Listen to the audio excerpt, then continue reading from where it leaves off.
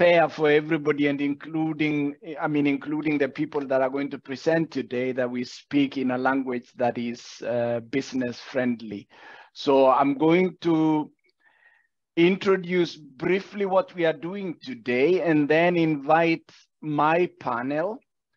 And my panel is made up of three people, two main speakers, and the topic is as follows. So today we are going to have a very unique presentation that on this forum, uh, on my forum, we are going to pitch about study opportunities, work opportunities in, the, in Australia.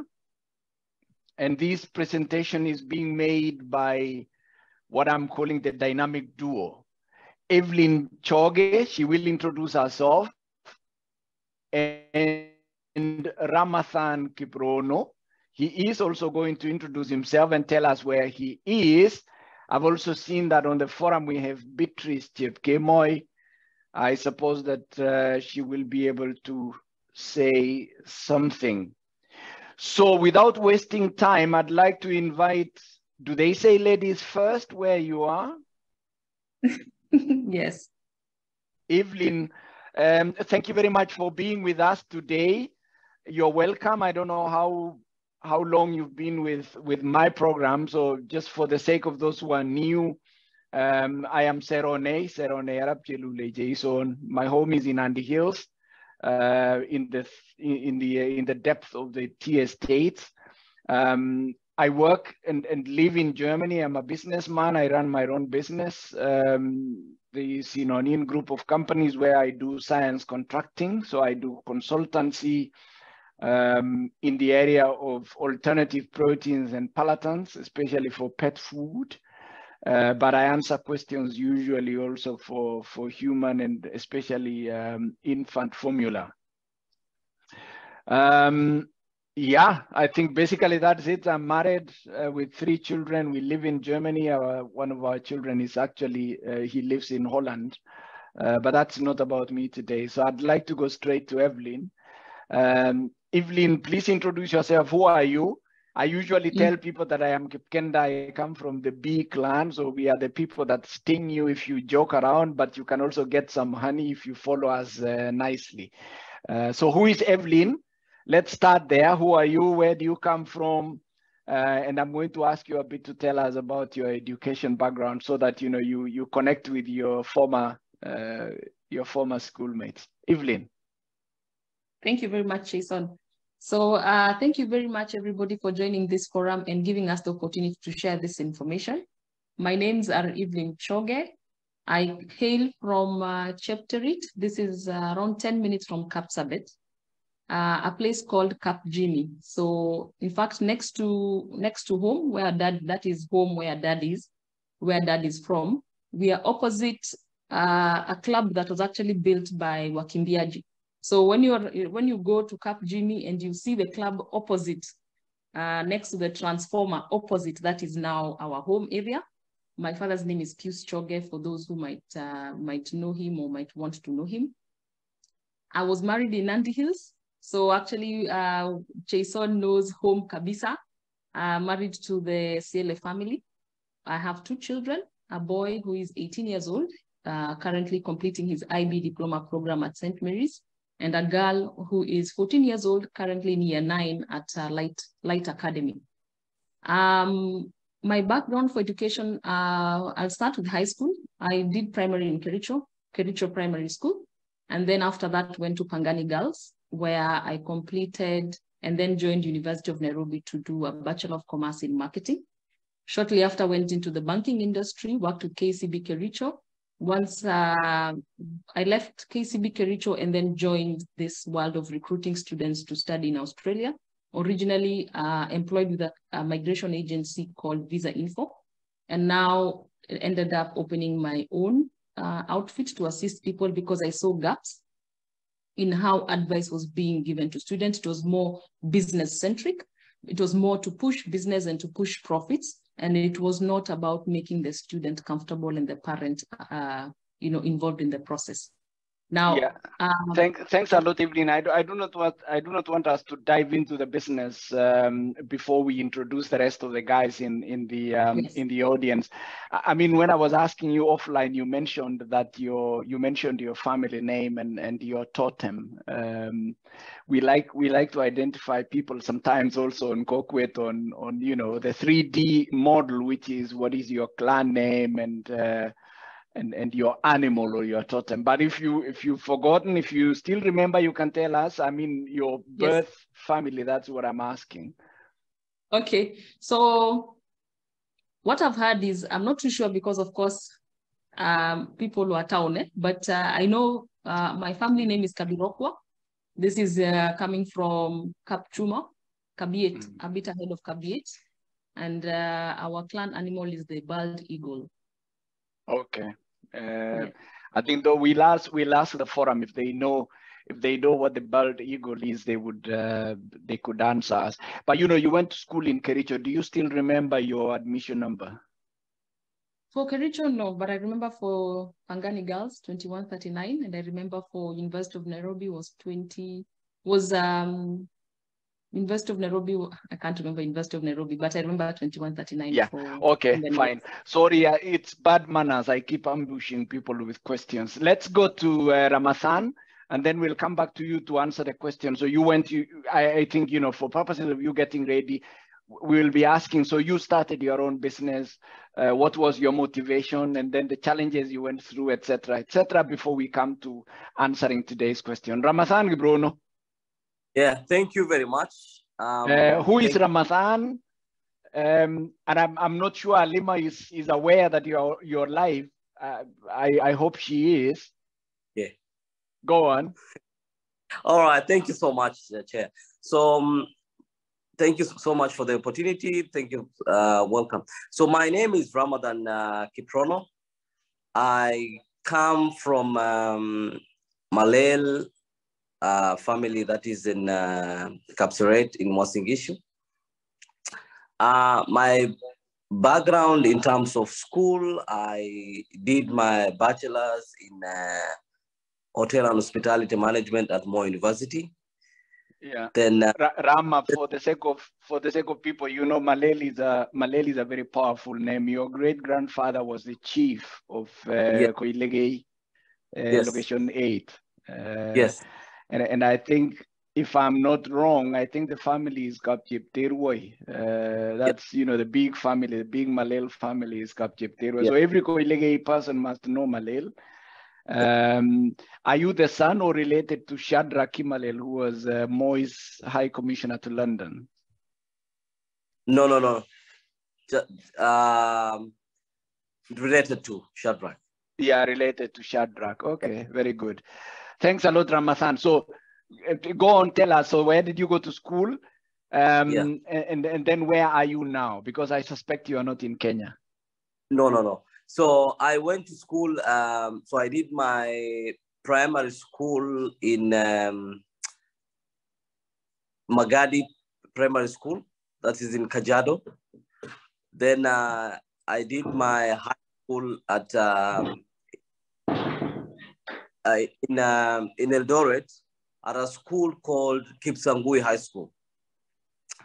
Then uh, I finished there, did my diploma of uh, business administration at JKUAT University, then went to do a bachelor's uh, of hotel and hospitality, which I did it at uh, Moi University. Then um, then I went to do um, my master's now. I came to Australia around, around 2016 to do my master's, which I did a master's of uh, M MBA. After that, I ventured into business, which we're going to speak up today. Very good. Thanks a lot. Um, already, you know, there are people who are cheerleading you out there. They're saying, Sangui, oh yeah, I've seen it from Ezekiel LA. Uh, do you remember your uh, Do you remember your admission number at Kipsangui High School? No, sorry. I, I, apparently, I can't remember. You know, for a moment I thought your your admission number at Kipsangui is your M-Pesa pin, but it's okay, uh, Raman. Yeah. A lot of the people who are listening to me use their their high school admission number as the M-Pesa pin or the password to their email address. Ah. Guys, careful. Uh, you know, that's that's what hackers usually look for. They look at what is your what is what was your admission number and something like this. Rama, if you could just move up, move back a little so that we see the whole of your torso because you somehow um, yeah, like that. Uh, that's That's super beautiful. Um, Beautiful. thank you very much. And, and currently you are in uh, in Perth in Australia, Yeah. right? Because I've seen Yes. Ambassador Ambassador Alfred Sargent says that he's following you from Perth in Australia. Oh, good. Um, I know as a Kalenjin we can say birth in Australia na hakuna kitu serikali inaweza kutufanyia. Uh, but the proper way to say it, I don't know, is path, I guess. Okay. Um, shall we go to Beatrice, uh, uh, Beatrice and then and then go back to all of you then uh, to tell us what it is that you're doing, what is the business. Beatrice, do you have a video or do we skip Beatrice? Uh, let's keep Beatrice because she's here to take minutes. Okay. Wow. Yes. You guys are super formal. So Evelyn, I mean, you you you are a typical um, you're a typical hustler. You know, you went you went from employment, um, and then now you are your own boss. What motivated you to start this business, other than the fact that you worked in um, in an environment where you saw people were struggling with going abroad for studies, and you wanted to solve this? Uh, oh, take us slightly towards the mechanics of, of setting up the business. What was the motivation, the challenges you faced, and and what did you need? Okay, so I'll start with why I how I got in. Remember, I was working for KCB Kericho at that time. And then my father had a medical emergency around that time. This was in 20, 2012. And um, he needed he needed to be airlifted to Nairobi. He had a minor surgery in Eldoret Hospital. And then things went south. We had to airlift him. He went into ICU in Aga Khan for around 21 days. Very costly. My sister is already, she's a citizen in Australia, in Sydney. And um, back home, we have five children. So it was me and my brother at that time that were working. My, my other two sisters were still studying. And so we really struggled to put together the funds to help my dad. At some point, we ended up asking my sister to come and help. And so when she came to Kenya, she really came and took over the situation. And we could see the financial might. It was very different, what we were able to do and what she was able to come and do. So when she left, we had a discussion and I told her I would also want to go to Australia. So she gave me the number of a migration agent. So once I sent my CV to the migration agent, he said, look, instead of you coming, open an office for me in Nairobi, run it. After four years, I'll, I'll uh, migrate you as, a, as an employee. And then I went for that. So while working in those four years, I realized that um, a lot of agents were business centric. They were looking at how they can make money and not how they can assist a student to be able to be, number one, studying a course that will help them in terms of getting permanent residency, also accessing the most affordable courses, and also how to prepare for the life in Australia, being, being job ready, because many people would arrive and then they, they are working, whatever they're earning is not able to meet the school fees they're already paying. Remember, they've been put in really expensive courses. So they're struggling to raise that money, struggling to work. And then everybody knows when you're in Australia, you have money. So people at home are also asking for money to be repatri- to be sent back. And so I left uh, employment, actually tried going into something different, but then students had already gotten used to me. And so they would keep calling and I would do it as a side hustle until at one point I said, look, let me just focus on this because I think there's, because every time we would get a student visa, I would always hear the word bless you, God bless you.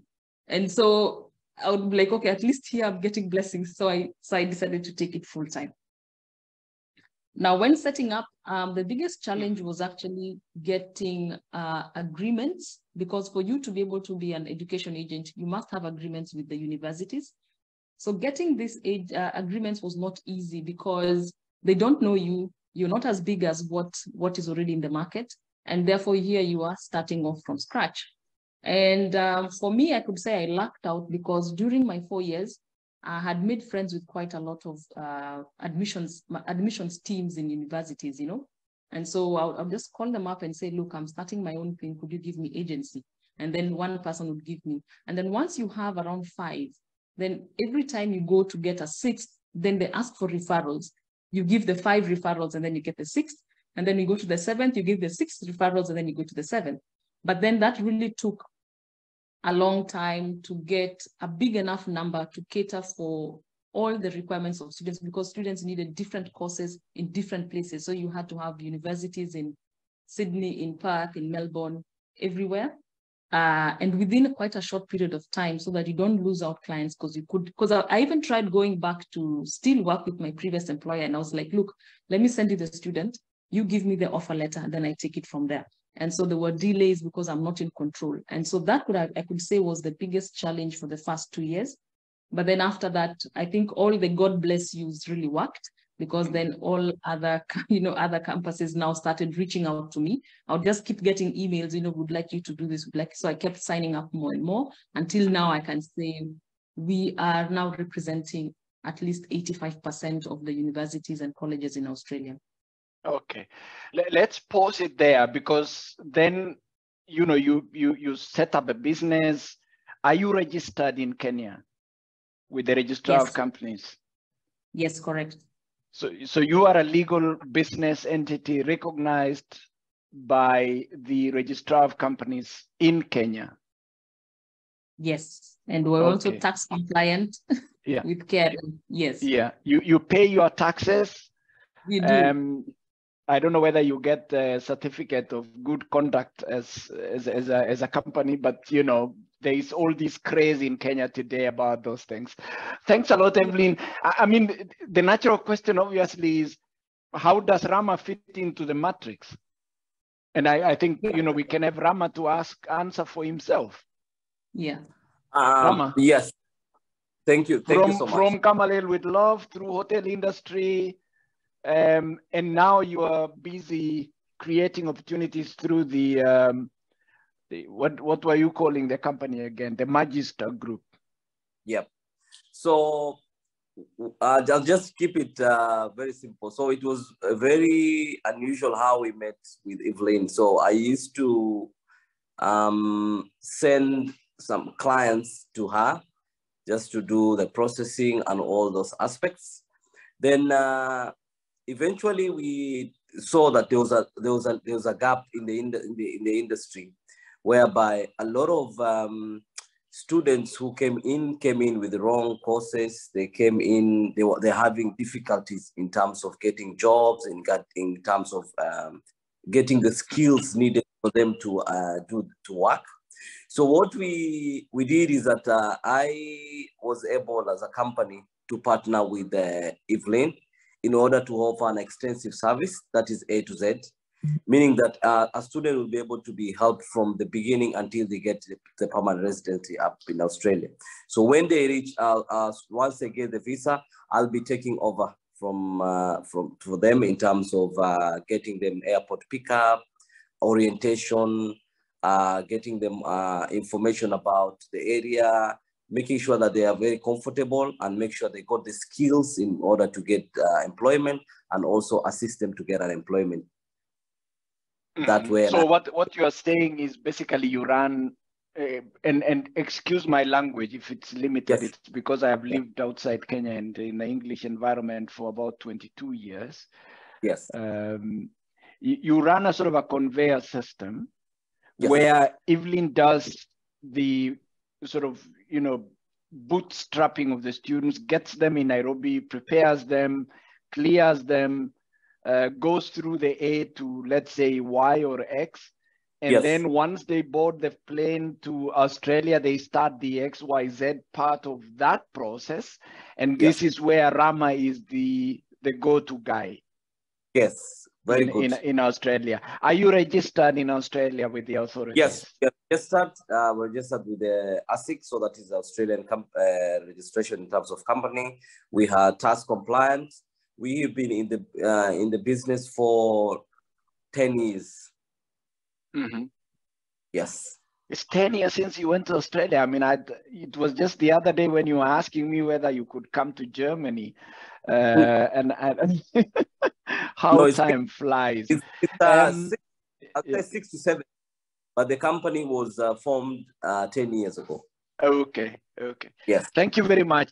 I mean, I'm getting questions in parallel and just reading with the, uh, you know, the, the the tip of my my left eye on on the tablet and just seeing, you know, very nice conversation with people there, uh, basically identifying themselves with you. So you have this business. It's set up. You have two prongs, so to speak. One in Nairobi, uh, potentially with one stool in, uh, you know, one leg of the stool in Eldoret, I guess, because I see numbers on the uh, top of, of your poster there. It says uh, Daima Towers, Uganda Road, Eldoret. I I don't know, is that where Evelyne is based or is Evelyne based um, uh, in Nairobi or, or, or how does it work? Okay, so I'll answer that. So we opened uh, uh, the Eldoret the Eldoret branch, okay, we, we were based in Nairobi originally. And then when COVID came, we went online. And then after the online shenanigans were over, we decided to reopen in Eldoret. Reason being, we wanted to be able to provide processes for English. So we have a PTE center. Uh, this is Pearson's Test of English, Examination Center and Preparation Center. Also at Eldoret, we have the job skills training where you're able to do the certificate in individual support. There's actually um, those props that can actually take you through the practical training element. We're able to host up to 30 students at any given time for an examination. And given that 70% um, of the people who go to Australia are from Eldoret, we felt that it is easier for the Nairobi people to go to Eldoret for these services than all the 70 to come to Nairobi, which is what has been happening. If you look at the, the industry right now, even the British Council has opened their own testing center in Eldoret. Uh, the, also IDP has opened their own test center in Eldoret. So people are bringing the services closer to the people who are looking for that in terms of the demand and makes it easier for them. So hopefully we're looking at also medical and biometrics should also be sent to Eldoret. And maybe also now flights can go directly from Eldoret International Airport to Australia from there. So that is where we want to push the industry to. So that's okay. where we need yeah. to be. Yeah. Yeah, yeah, yeah. And Evelyne, you know, we always like to talk numbers on Kokwet because we are a science-based organization. We are fact-based. If you put your finger on numbers, how many how many uh, people have gone through your hands um, as a business to date that are okay. already in Australia? We're not talking about how many are under the process. And you can tell us both. You can tell us how many are being processed now and yeah. how many are already um, you know, cleared and received by Rama on the other side. Okay, so one, two, three, four, six, we have, uh, this year, we have a total of 35 that have already mm-hmm. left and started uh, their studies in Australia. Mm-hmm. These are people also who had been caught during the 22 month uh, border shutdown. So the 35 includes that. Mm. And then in processing, we have 191 in processing at various stages. Um. Many are, you know, doing exams, getting documents, you know, preparing for medical. So at various stages, a total of 191. Yeah. And then we have 81 uh, currently doing their English preparation classes online. So our classes are online at 8 p.m. Yeah. Yeah, yeah. Okay. Thank you very much. I mean, once in a while we get questions and complaints, and that's what part of the reason I am a bit nervous to host people who um, showcase products like you do is because I have seen, I think, a couple of cases in Eldoret go right um, with people saying we were promised, we paid, but somebody disappeared with our money.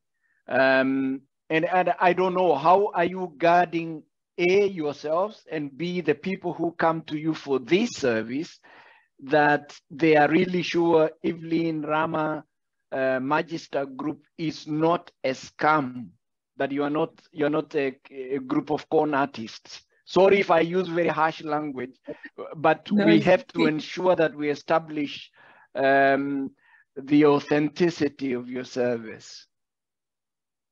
Okay, I'll take that question as well.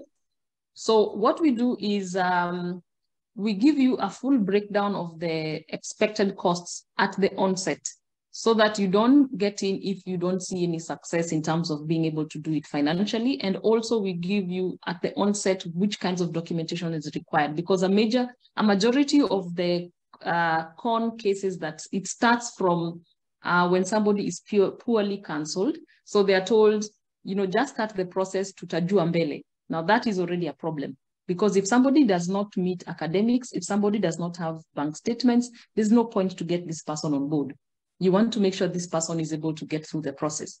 Now, the second thing we do also is we only take fees that are coming to us, but anything that is going to third party, be it British Council, uh, Emirates, uh, biometrics, medical, school fees, we give you the accounts of these particular third party institutions and you pay directly. So it doesn't come to us, it goes directly to the institution. And therefore, we just wait for you to give us the confirmation that you have made a payment.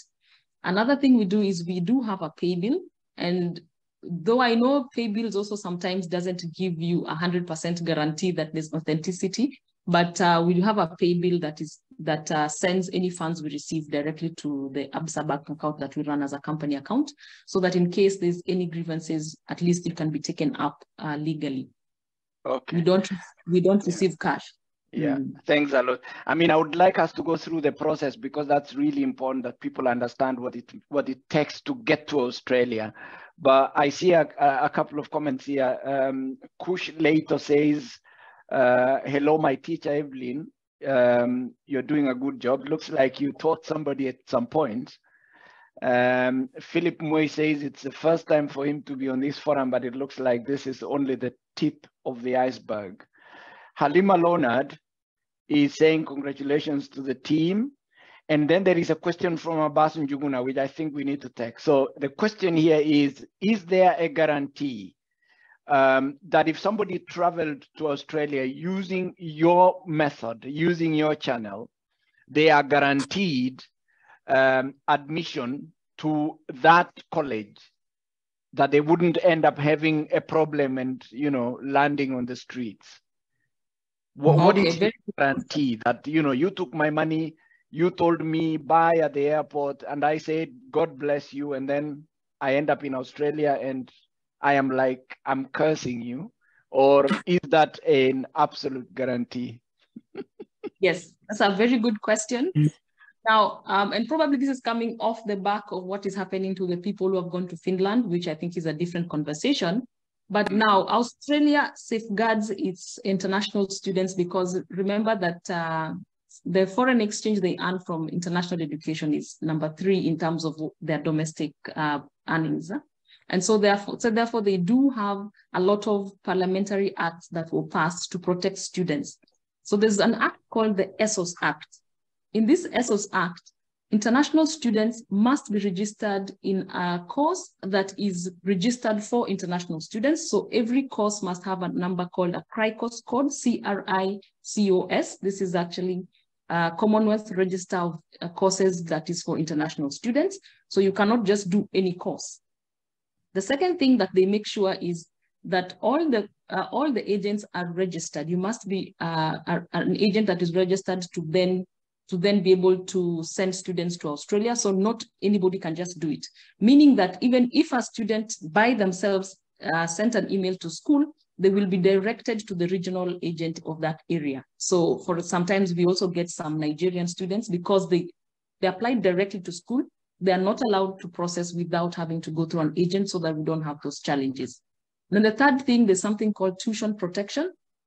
Tuition Protection Act will protect your tuition fees, but even if you paid it to that school, should that school close, then your tuition is guaranteed by the government that it will be refunded and not pro rata.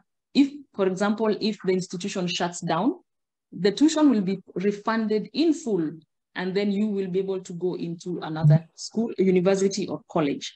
Now, the transferring of your units to the other university is an easy process. It's seamless because in Australia, the education qualification framework is run by the Ministry of uh, Education, a bit like the way we have NEC running uh, Form 4 programs and, and KCPE. That is what is happening at higher education in Australia. The course is actually given by the Ministry of Education. The universities are just delivering it. The, the courses and the syllabuses is not written by any university in Australia. So therefore, that means if you do one semester in Edith Cowan, you can go to Murdoch and do the second one. And then you can go to Southern Cross University and do the third. And you will not lose any course progress. And there'll be no confusion as to where this, uh, you know, they can't say this is a Strathmore University course, so we don't know it, you have to start from scratch. So should there be any closures of universities, you just RPL the process, which is called recognition of prior learning. You've already done certain units, continue where you left. And so those are the guarantees I can give 100%. You will never lose course progression. You will never lose your tuition. And I can also guarantee that once you start the process, we can guarantee that you will get admission into a university. What we cannot guarantee is getting the visa because that is immigration department. We have no control. We don't know sometimes how they make their decisions as well. Sometimes we get shocked as well, but then we can we can we can have some controls at admissions level, but not at uh, visa level. Yeah. Thanks, Evelyne. I think we need to go to the uh, gist of, of, of today's uh, presentation. I don't know whether Rama, you have anything to add on that?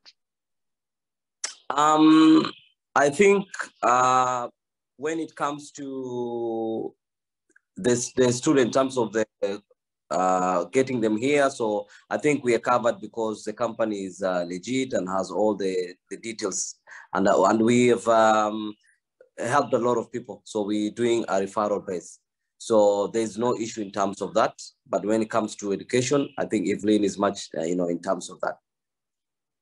Very good.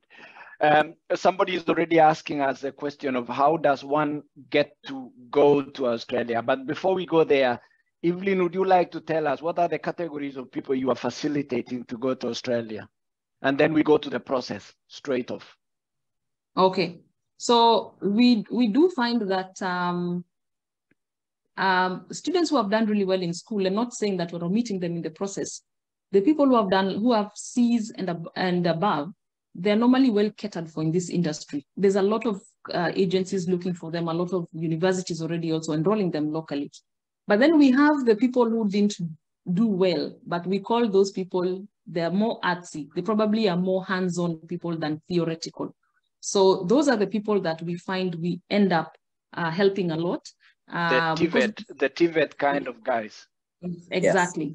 Yes. So this is a Form 4 student who has a C, C minus, all the way to an E, we're able to get you into a course that is just hands-on, uh, it's vocational, and then you can be able to complete that and then proceed on to higher education if you need to, if you want to, because also there are some particular types of TVET courses that can also allow you to get directly into the permanent residency stream when you complete it. You don't necessarily have to go all the way to the bachelor's or the master's.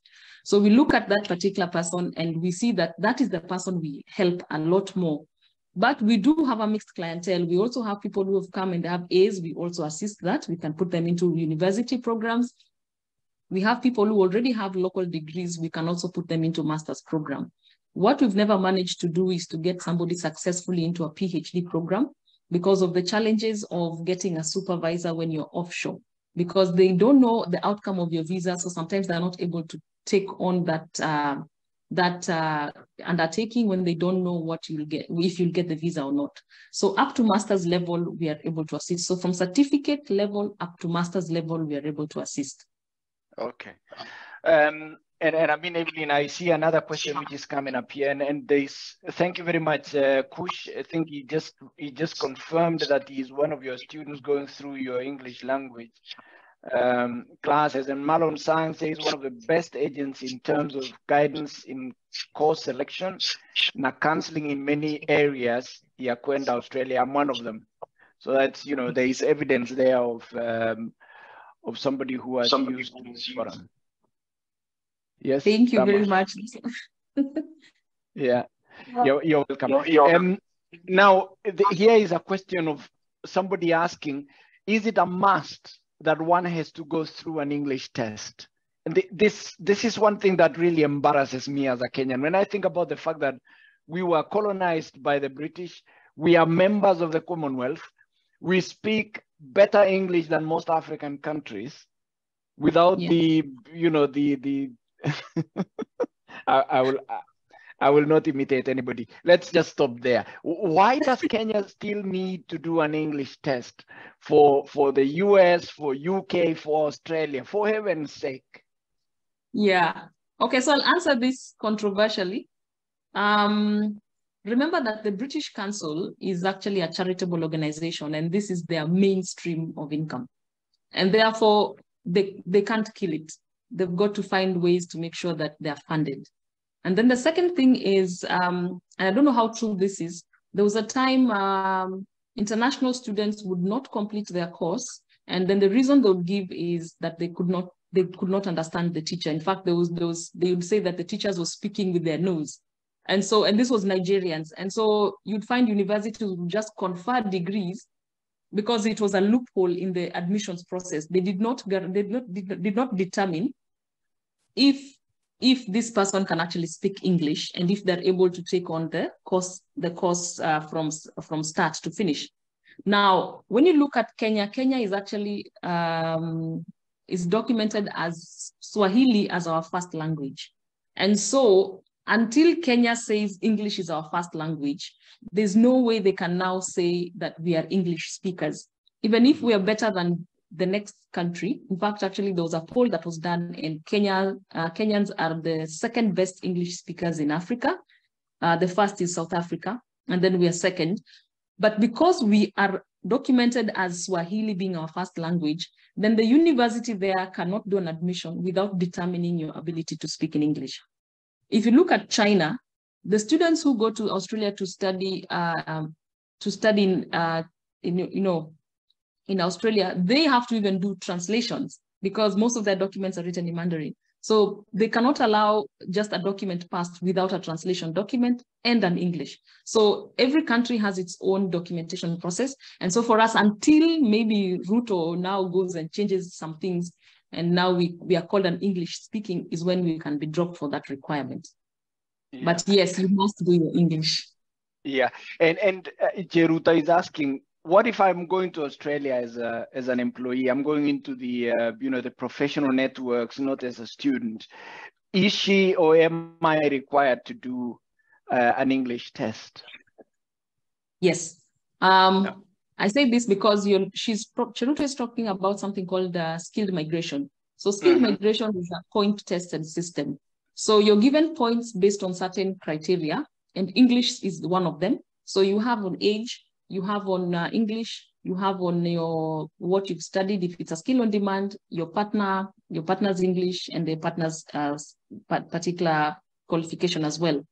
So the higher you score in your English, the higher points you get. So for example, if you get an eight in the IELTS exam for skill migration, you get the highest points of 20. If you score a six, then you get the lowest point of five, and below six, you get no points. So this is a system Australia sticks to just so that they can have merit-based permanent residency programs and skilled migration programs so that not anybody just comes in before they've vetted the ability for them to to and you know it's academic level. It's not even general english. At that level it's academic english because mm -hmm. they have to make sure that you're coming into the workforce you're able to communicate with the workforce. There are not going to be challenges. You know having even even just small things like writing emails they need to be able to know that you will mesh yeah. Yeah, so it is, I mean, I see a lot of questions are following up on skill migration, skilled migration, skill migration. So that is what you're talking about. That's what Cheruto is talking about, right? Yeah, yes, correct. Yeah, okay. Um, let's go because I have seen a question from the principal of uh, Labuyo in Tinderet. I've seen the principal, uh, Tinderet, Tinderet Technical and Vocational College, Abdi. Abdi Araption is asking a very important question. He's asking, would you facilitate for group um, sort of, you know, group assist rather than let's say one individual coming there and then you're doing it? And and i guess he's talking about his students. If they would like to immigrate to australia for example can he organize for a group and and and you arrange a special package um, on on that process as well right um, I would say that would be difficult because, as I told you, people have different abilities financially and also document wise. as I told you, like the 191 we are currently processing, there are different stages. Some are even family, brother and sister, but one is ahead, another one is behind because of English. Maybe they didn't do well in English. Maybe they also don't have a certain document. So doing it as a group might not, we can, yes, but might not mean that they will all go at this, you know, with the same steps. They can start together, but then you might find some are faster. They're able to give us their documents faster. So we'll move with those ones faster. And then um, the ones who are not able, also the fee, because remember at some point you need to do a fee deposit. It mm. depends if somebody's parent is ready to do the fee deposit or not. So those are where the delays. But yes, we can actually do. And then if his question is if we can do counseling as a group, yes, that one definitely we can do counseling as a group. Physically, physical, maybe we can even come to the school or we can do an online session like this. That mm -hmm. is mm-hmm. also doable. Okay. I think what we can tell Abdi, isn't it, is uh, you have your contacts there. Would you like to just guide them and say that he gets in touch with you um, through yes. those contacts, isn't it? Yes. So right. There are quite a number. Go on. Number, sorry, the number that ends here with 500, that comes directly to my mobile number. Uh, the 0721 that comes directly to my mobile number. The other one that ends with 052 uh, that goes to the office in Eldoret, which will be picked by a lady called Jul Juliet, uh, who is our manager at the center. Mm -hmm. Okay, and they can also get through to to you by email, isn't it? On the, uh, correct. The, on yes. the RPL side, I see questions are now flooding, uh, but I, would like us to go to the ABCs. So here I am, you know, very excited as a parent, and I'm listening to Evelyne and and Rama uh, talking about the two categories. So one is you said you have you have people who are, who would go and do uh, vocational training in Australia. Um, Rama, you are there. Is the money enough if I sent my son or my daughter there to to work as a plumber or an electrician or a carpenter? Do they make enough money and I'm not going to ask you whether they make enough money to send me something small, the Kenyan, typical Kenyan language, but can they make enough money to live on that? Um, thank you very much for that question. Yes, uh, they can make enough money and uh, it's equivalent to myself. So I'll say an approximately, uh, if they work in, uh, you know, aged care or disability sector, um, the amount they can get is about $30 an hour. So if you are just brought approximately, uh, if they work eight hours, that would be around 240, if I'm not wrong, dollars. So if you equivalent to um, five days, that would be around 1,000, is it 200? So that is uh, per, per week. So times two, that's 2,400. So this is possible. And imagine some, we here, we are doing two jobs. So we have uh, one job uh, during the day, sometimes we do another night shift. So they can approximately make and pay their school fees very well, and they can pay their bills very well. As long as they come through, you know, they come through in, get their employment uh, immediately, get their skills uh, set immediately, then they can be able to uh, pay their school fees very well. Yeah, okay, thank you very much. I mean, the, um, I see the other question is actually going to somebody else. So guys, those of you have questions, I see Ian, Ian is asking where can I get you in Nairobi? We've just showed you on the on the top left, on the top right of Rama and, and Evelyne's, uh, you know, backgrounds, you see the numbers there. The 0721 796 500 goes to Evelyne directly. Um, please don't send her flirting messages. Just go directly to business.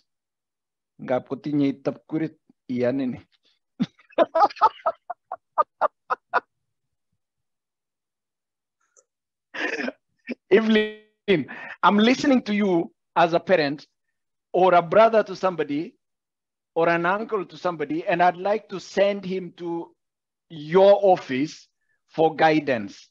Let's, let's go through the ABCs. What do you need? And where does the process start? Good. So the process normally starts with a free consultation.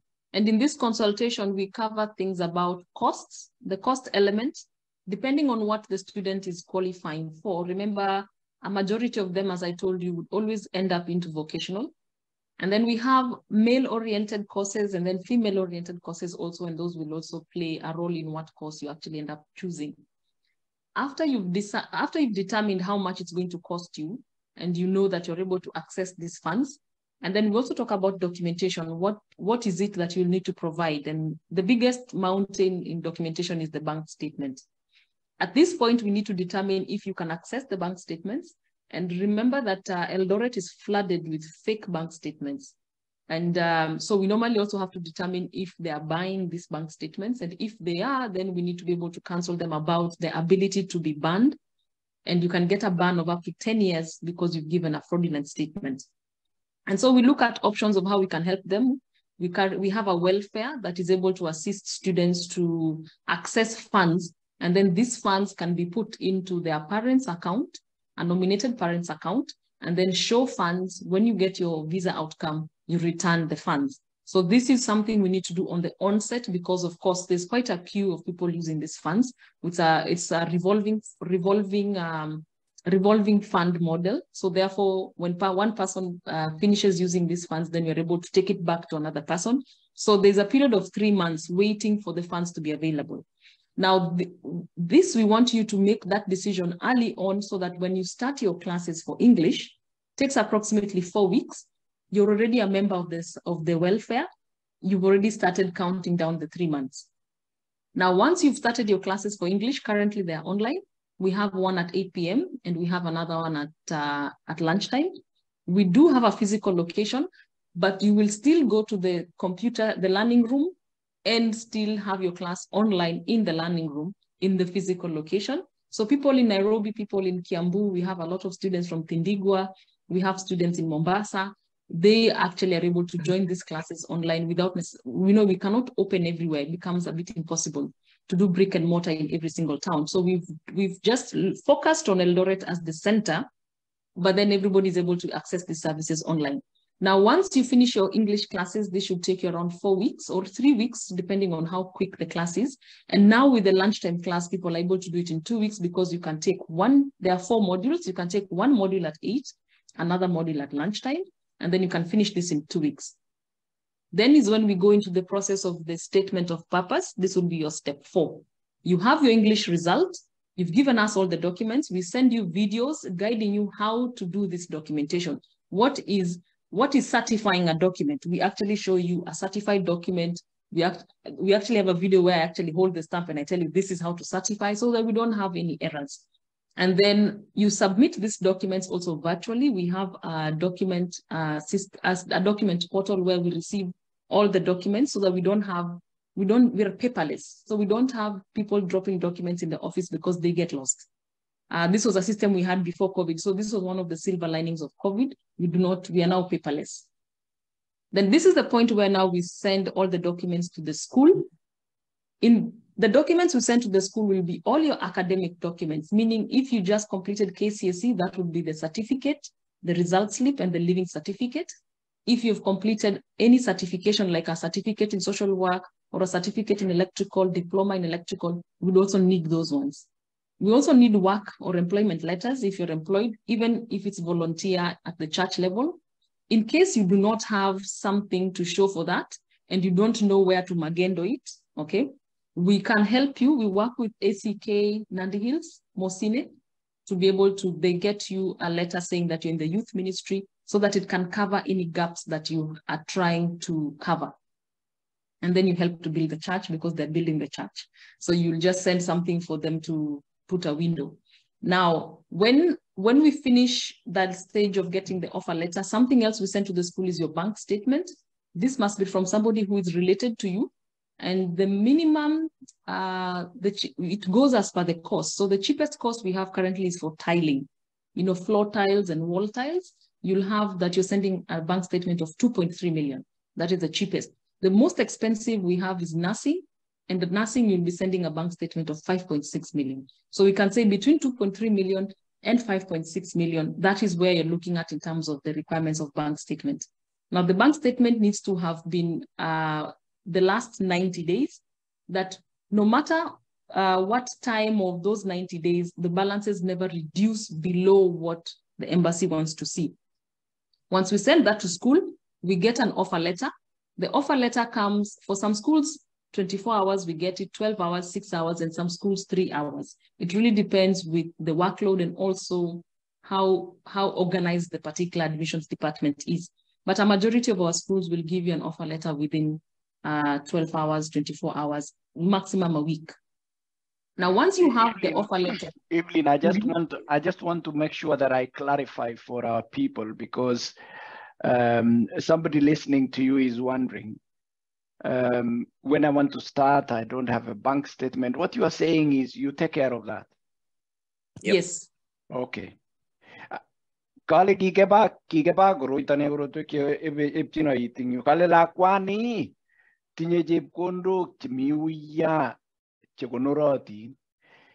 Konin kondoun account. Ip kotebis ang yundo iprinten statement iyok kiplelachek koker kiplelachek kole itinye chepkondok eng yo koker kole itinye chepkondok iwekte rabinikab biik. Ip koboisie chito age ip konde account nenyinet. Eng yo kotar process nenyin nebo three months kocher kora kokochi age. Mm-hmm. Kirotyi akoi keburo.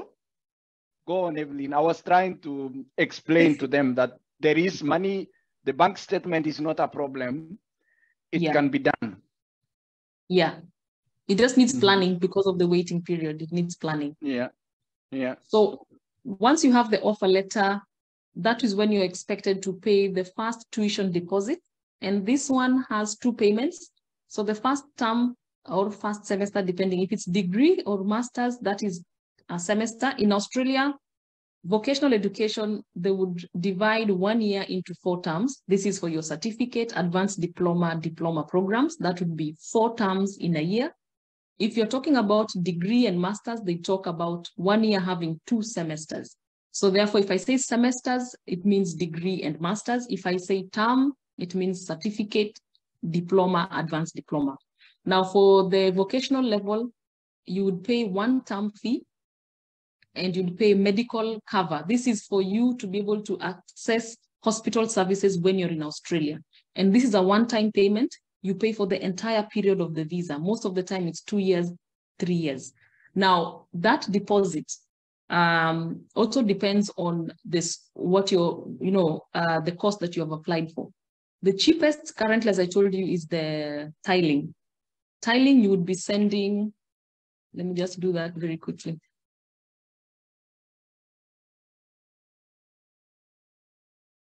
As, You'd be sending you approximately that, I see Eunice. Eunice is asking me, gele gele ki kwerech ne. Ara maimane Eunice. Ka kwong sale kira bajag ne korotwechu. Ka kokon chito tuguk chik kole orechu. Kekono chepkondok atoretin eng oretab borun. Taityo ale amu mameche simutai isaman eng orani ngap metinye statement ii. Orechu kwenik. Inde kwenichu account ng'ung eng yo koruryo iwekwo kwenikyuk. Ngo kamite moita kitikin sine komakinoe ki lakini iwekwo kwenikchuk.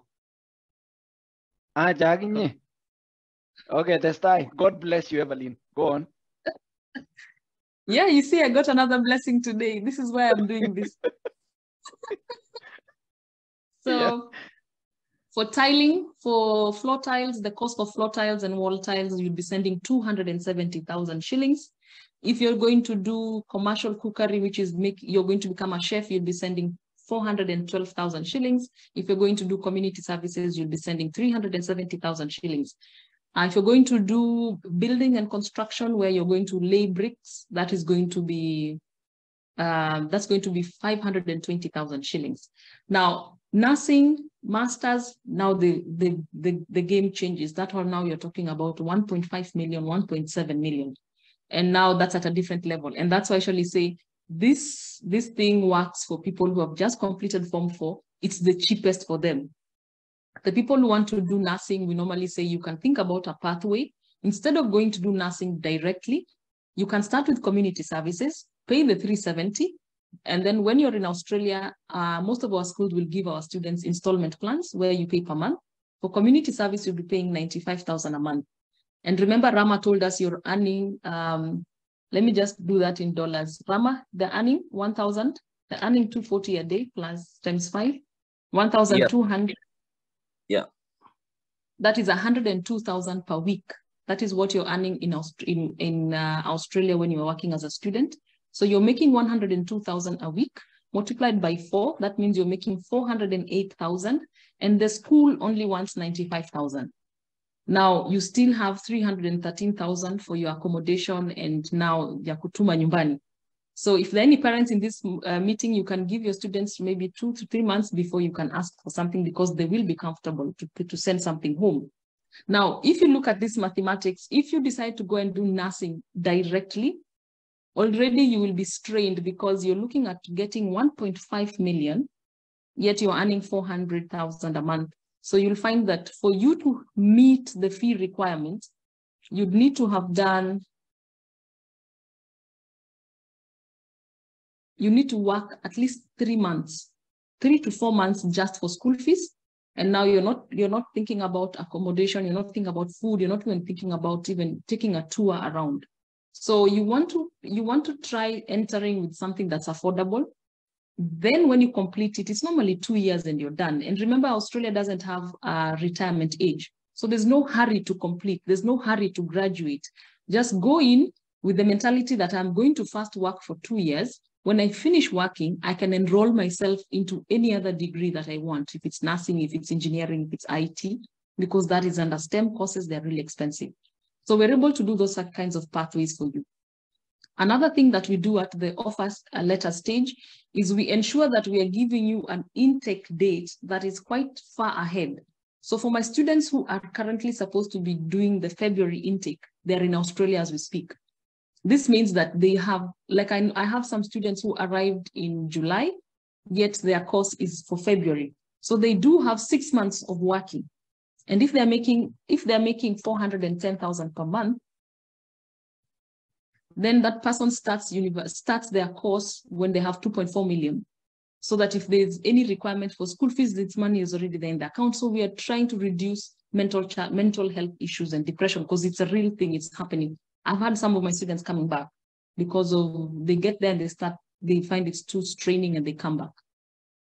Now, um, Evelyne, so you'll hold it, hold it there. Um, so basically, what you are saying is you. I, send you my nephew. The first thing you do is you don't charge them. You just have a chit chat. I don't know how long it takes. Maybe 10, 15 minutes, maybe one hour. an hour, one hour. Yeah, one one hour for free. One hour for free. Yes, for free. Um, nda ndaneng you one hour for free. Well, I give 15 minutes for free. Lakini ngakoit one hour, ko rahisi ketuitosi ak bokol lo chebo oli. Kotomo keng'ololse. Okay. So you donate you donate your time, one hour. You spend with them, clarify their ambition, dig on the preparedness. What do they bring? Um, you know, all those. And then because somebody is asking here about the letters that they need. I guess somebody will need a CV, somebody will need the letter Yeah. of purpose that you talked about. Um, how much does that cost me as a sponsor to facilitate for that person to get this level of help first? Do you do you Oh. break down the costs or I must pay you everything boom at once? And how No. do they how do they work? So we we we do uh you pay per milestone, meaning when you get to that level is when you pay.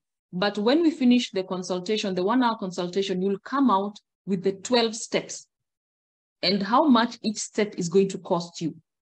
And so re- remember everybody is different. So if you don't have the if you need the letter from ACK, then they'll take only a thousand bob. Tu mkono. Okay, some people are so happy they send them 2,000. It really depends with you. And then the statement of purpose is 5,000 shillings, but that comes after IELTS. Okay, IELTS is 29,000 shillings. To enter the class is 10,000 shillings. So before you start anything, you would know step one is to pay to start classes. That's 10,000. Step two is to pay for the exam. That's 29,000. Step three is to get the SOP written. That's 5,000. Step four, so at every single stage, the only thing that can change is normally to um, the offer letter stage because of the dollar, you're paying in dollars. So maybe when we spoke, the dollar was a bit depressed. And so we were telling you 370. When you go pay, it will be 380. So that's the only variances, but we rarely, rarely see huge variances. Sometimes even we can tell you it's 380, when you go pay, it's 340. So it really depends. That's the only time you'll see some changes. But everything else, you get it as exactly as we had discussed day one.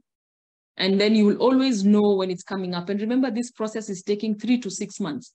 So you do have quite a lot of time to prepare ahead. So when we start that, when you start with 10,000, you have three weeks to look for 29,000 so that you pay for the exam. Once you pay for the exam, you have two weeks to look for 5,000 to do statement of purpose.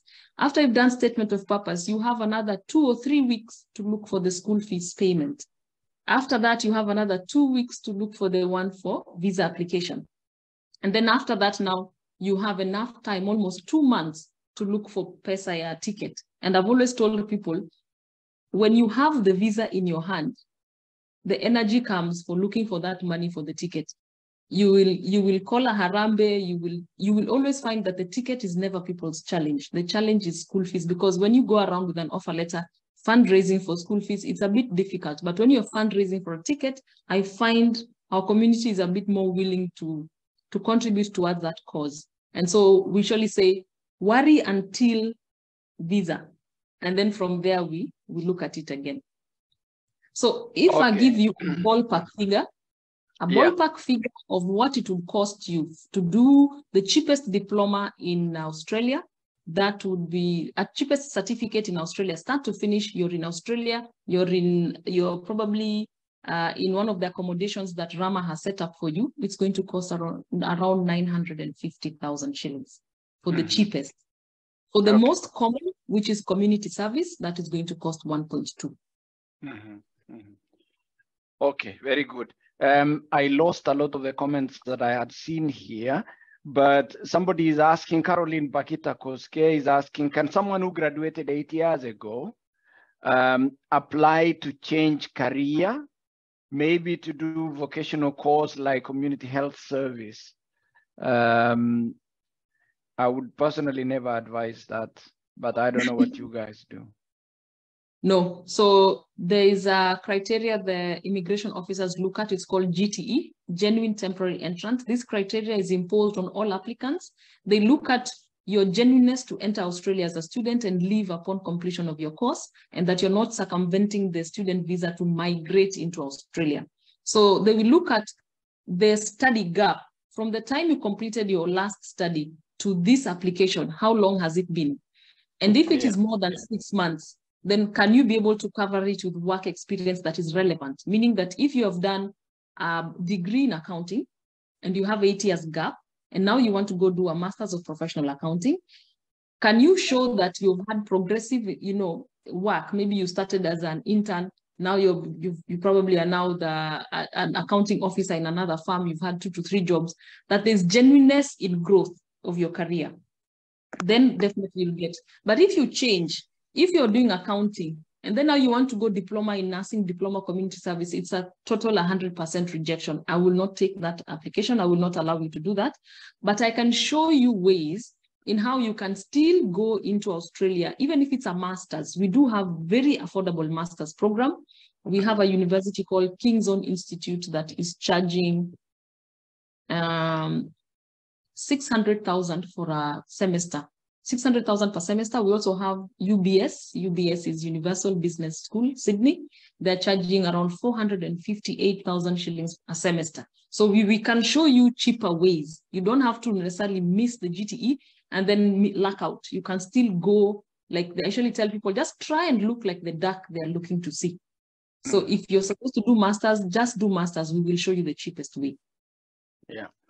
Convoy missing Evelyne. I mean, I have seen here a question from Kiplimo Sumkong. He's asking whether he can support his brother's child with a bank statement and relationship to the child if it is uh, required. Um, I guess that would be a welcome thing. Then the revolving fund doesn't need to be tied up for three months. I don't know what your answer is.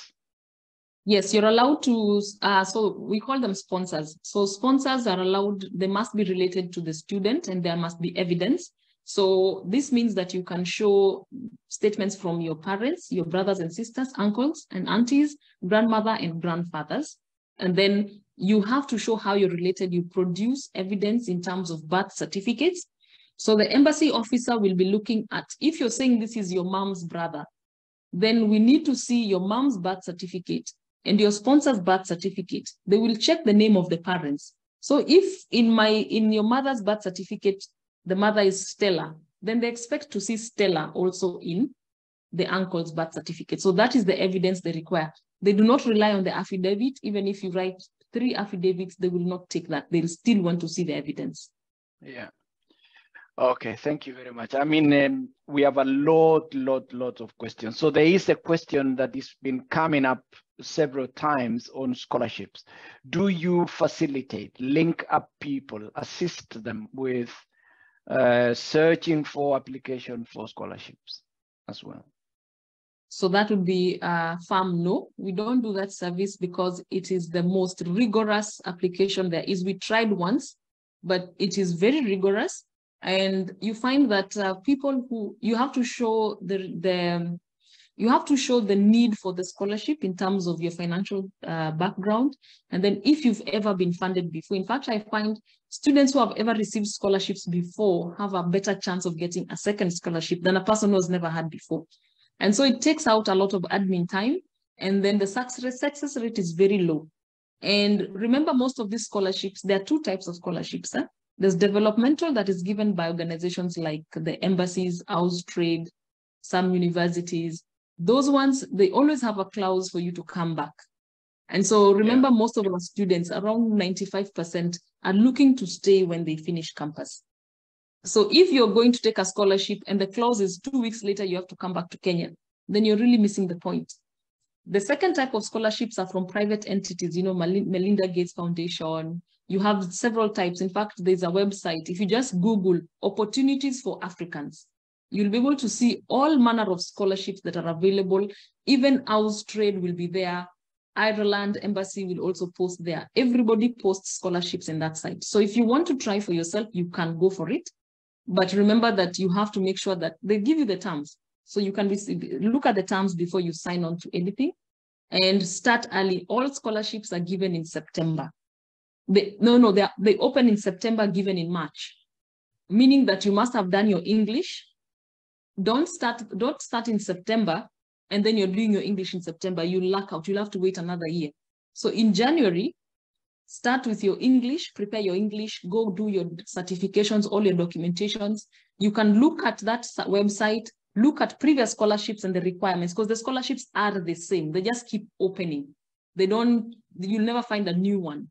So if you see Ferguson, it's the same one. Then be prepared so that in September when it opens and subscribe to the mailing list because you'll get an email that this is open now. Then you have your pack already ready, then send. You'd find that you, the people who've been successful with scholarship application, they do 10 applications a year. And so you need to be that vigilant. So this is the reason why we do not do that. As you can see, it is very admin heavy. We cannot take on that job. Yeah.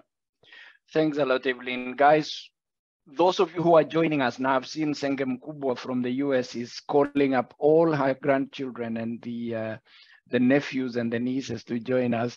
Um, you're listening to a very special edition of Kokwet. We are talking to Evelyne, we are talking to Rama, and we have two guys in the in the guest wing of, of, of this Zoom meeting. I don't know who they are, but probably they are helping Evelyne with the housekeeping. Uh, Nelly Akoth, we, we recognize you. Beatrice Chepkemo, we already spoke about you. Today we are talking about how to go to Australia. A, as a student, either interested in doing a vocational training like you do in our village polytechnics to come out of there and look for your own self-employment. So you're not the kind of person who comes out of that place and you are like no you are the kind of person who comes out of there and you are saying where is the hustler fund? I want to set up my own business because i'm a carpenter i'm a mason i'm an electrician. I lack capital but William has promised there is going to be money, lots of it. Now, the second category is people who want to go and study. Um, you know, you want to go for a master's, and Evelyne has been very frank and honest, absolutely authentic. She said, so far she has not dealt with anybody going to Australia for a PhD. And I remember somebody, somebody who was admitted to university in um, in in New Zealand for a PhD, University of Otago. Um, it, it had to be a communication between me and the supervisor. There was no way that an intermediary could, could happen. And it is the same thing with Germany. If you intend to do a PhD in Germany and you engage an intermediate to do it on your behalf, you probably will not get any supervisor saying yes. Because as a professor, we are trained to identify problem cases. If you need somebody to make an application for you, it probably means you are not qualified to be a PhD student. Sorry, guys, we have to tell each other the truth. And that's what I told Rama and Evelyne to tell us the truth. No sugarcoating. Um, and then the third group is the people who are, you know, emigrating because they are skilled labor. So you're going there because you are already qualified. You're you're doing your thing. You're very good at it, and you want to go to the dollar economy. So that's something which can be done. Rama, somebody is asking whether they can do radiation in medical imaging in Australia. It's, I mean, Leah, come on. What a question. We are talking about Australia. Anyway, Rama, would you be able um, to find a university in Australia that is offering or a college that is offering uh, radiation related to medical imaging?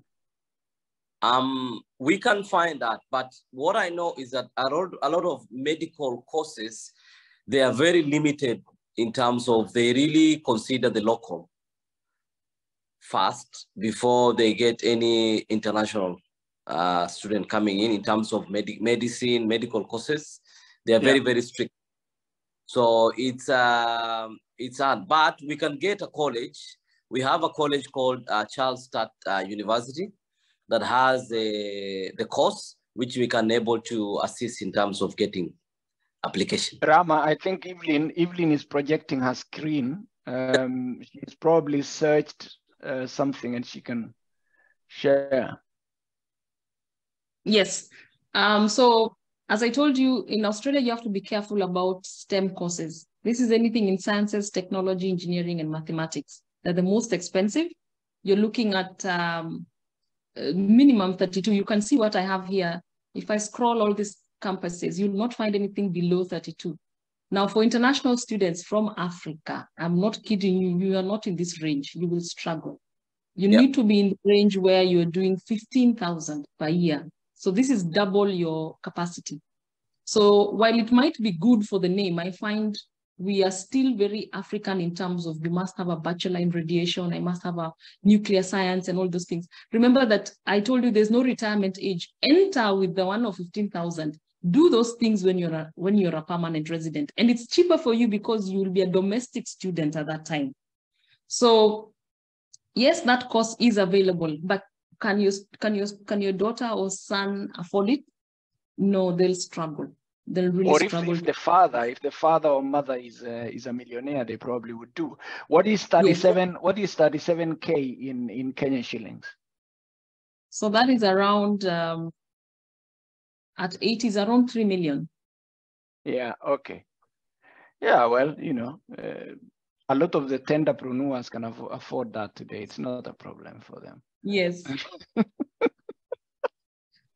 Sorry so, guys. With all due respect I know there are genuine parents who can afford that. There are also people who will struggle. What I think Evelyne is saying is if you are a hustler, don't go and burn 3 million when you can spend half of that to build a portfolio and strengthen yourself to an extent that you will be able to afford this, right? Okay. Um, uh, Patrick Talam is saying, Daktari, I'm really impressed by the presentation of this lady. Her name is Evelyne Choge. I am in charge of careers in one of the national national schools, and most of my students have been asking about study opportunities abroad. Can I plan a virtual meeting for her to directly help my students? Um, Patrick, Evelyne, please answer him, and then we can we can go. Yes, so yeah, I'm happy to do that. I love working with students. My telephone number is 0721 796 500. This comes directly to me. Sometimes you might find, especially on a Monday, it's very heavy for phone calls. So in case you don't catch me on phone calls, it will be virtually busy. You can send an, a WhatsApp message. I'll be able to reach out by afternoon because I'll be able to get time to call back. But yes, I'm happy to do a virtual meeting. I can even come and do a physical one. If you can have all your students in a hall, I'm happy to come and give some counseling. Yeah, I just want to help people because I get lots of WhatsApp messages. Sometimes I don't answer them because it really irritates me, you know. Guys, if you're going to write a message to Evelyne, like I said, don't waste time on, you know, you look beautiful, your English is sharp, I like the way you spoke. Well, you could do that, but at least introduce yourself. I am Kiblumda. I heard you on, you know, Cheison's presentation. I come from, I don't know, Matungulu.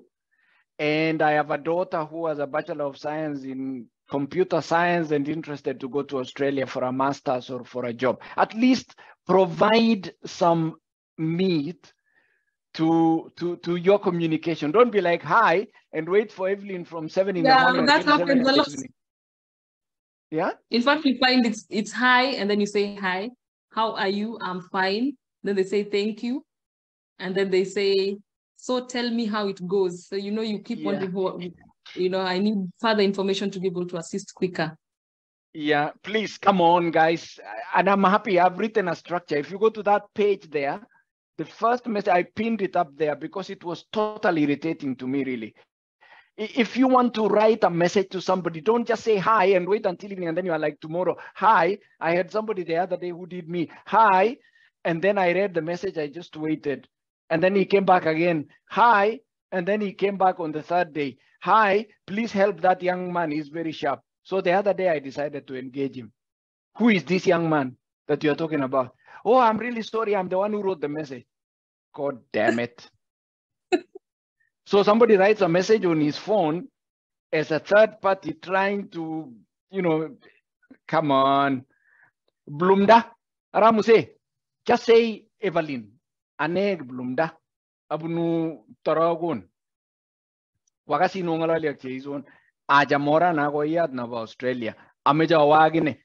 Tinye lakwe new form 4 kinyor KCPE jugile. Si enyoru time iwolwo this message. So that if Evelyne gets this message at midnight after presenting her English courses in Eldoret, she can read the message completely, get everything that you want to say, and then she will be like, okay, here is the process you can go through. Communication skills 101. Only enable you. Alima is laughing at me. It's okay.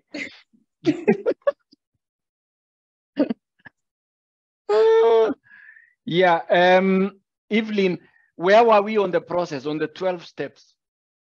Yeah, so we got to the level where we now have the school fees has been paid into the school. Yeah, maybe you, you need to stop presenting so that you can present your your background uh, for the guide. Oh, you wanted to say something on this? You can go on. Actually, what I'm going to do next is I'm actually going to share the breakdown. Yeah. So we are probably here where we are looking at tuition fees have been paid, Mhm. overseas student health cover has been paid. Now we are coming to the level of visa application. We are Mhm. saying now that uh, we have something called a confirmation of enrollment from the university or the college, and now we are able to apply for your visa. Now this fee um, also this plays a lot. I can just put that in red because it's dollar dependent. Evelyne, Evelyne, just just to understand, what you are showing here is not your fees. This is what is related to what goes on to to the the respective authorities. Yes. But we do have some fees. I've put them in blue. That is Yeah. ours. That- Okay. That's what comes to us. Yeah. Okay. Okay. But everything maybe else maybe you could maybe you could separate that. I would I would pull I would pull your fee on the right side. Just take it to the next. Uh, no, no. Just Yeah. copy copy C, copy C three and put it on D three. Not on C three. Only the uh, the 10k. uh, to go to D3. Yeah, copy C3 there, just leave it at student agency and then copy that, put it on, on yeah, cut and, and, Oh, and cut. paste. Yeah. Yeah, cut and paste. Okay. Right. And then you can also cut your C9, put it on the other. Yeah, like that. Super. Okay. So that now, now it's clear to everybody. What is your total? 60K. Yes. Yeah. Plus, And, sorry. and what is going, what is going to school is basically a million and uh, 300. Yeah, but this is also, you know, it plays, it goes up and down. Like if I change Yeah. this, like th- this week we paid, um, uh, ticket was n- 198. So that comes to 1.1. Visa was, Visa was 54,000. Mhm. So you see, so it plays. Yeah, yeah, yeah. Yeah. Okay, but at least you know there is there is that clear separation. So go on now. Yeah. Okay, so here we are now where we have the visa fees. We pay the visa fee and the agency fee to do the visa processing. Sometimes I do have people asking why we are charging a high amount, uh, given that um, major, bigger, bigger agencies are charging, they're giving this service for free. Some are charging 25,000, some are charging 10,000 for this. So my, uh, my explanation has always been this. We are always targeting that you're paying the least amount for tuition here. And then Mhm. remember that at the end of the day, this is a business. And so we're able, we need to pay rent, we need to pay, you know, salaries and things like that, and also send our children to school. So every every time you have an agreement with the university in Australia, we do get marketing bonuses. And these are capped at a certain percentage. So 10%.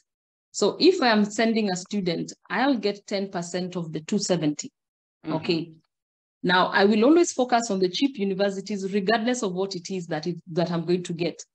Now, as another agency, and I'm not mentioning names, might tell you free, but then they will put you here at a cost that you're going to pay 2 million or 1.7 million.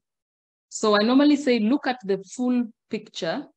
You will end up paying 1 million with us, but you contributed towards our overheads by paying an agency fee of 50,000. But if you go to another agency where you're going to end up paying 3 million and contributed nothing towards their overheads directly, you'd still find that we end up being the cheapest agency in Kenya Mhm. when you look at it as a big picture. So let this not worry people as to why is this high or why is it being split from the original. Now, we split from the original having a total of 60,000 because sometimes, as I told you, people end up getting stuck at the visa uh, tuition fee payment. So we don't want them to have paid such a large amount of money, yet the process is going to get stuck here. Hmm. So at 10,000, we will have given you services of the English classes and also accessing the statement of purpose and prepare, preparing your documents and everything will be fine. So if at this point you choose to exit, maybe because you don't have the fee, you have not spent too much money by that time. So when you're at this stage of visa application, that is when we feel now you're getting value for service because you've already gone to that step. You're able to move to the end. So there will be no there will be no regrets where you've spent so much money and the process did not complete. Because I do have some people coming to me when they've gone to other agencies, they say 40,000 imelala huko, you know, mm-hmm. 50,000 imelala kule. So I actually want to say, if you're not going to go on with us, you'll go to another agent and say 10,000 ililala huko, but tulipata training. So the training is free for our students. It's part of what we charge when we pay the 10,000. Now, Yeah, medical okay. exam is the next and the, uh, ju- just to clarify again, so basically what you are doing with the visa is the moment they get their visa, the, the God bless you time comes with a 50K. Yes, exactly. You see, Okay, So okay. we, on. Everybody's happy. Even that I never struggle to get that one.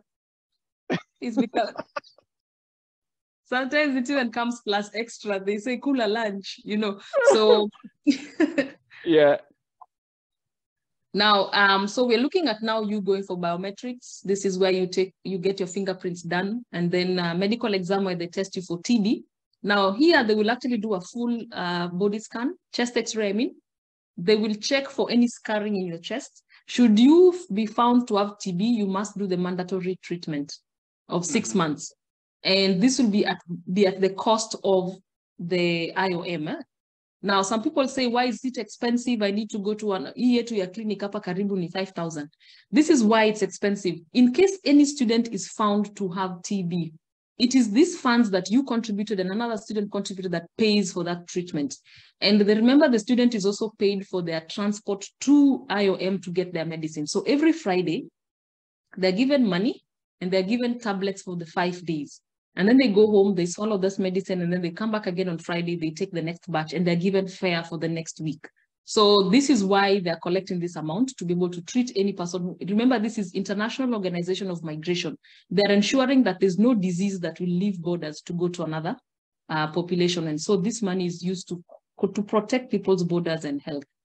Yeah. And then now when we come here to biometrics, so if there's nothing, if there's no issue with your chest x-ray, then you can comfortably start your job skills training. Is, now the is job this happening in Nairobi? Which which part of this is happening in Kenya? So the the biometrics and medical exam is happening in Nairobi. Uh-huh. This one is happening in Gigiri. Yeah. This one is happening in uh, Westlands. Okay. Yeah.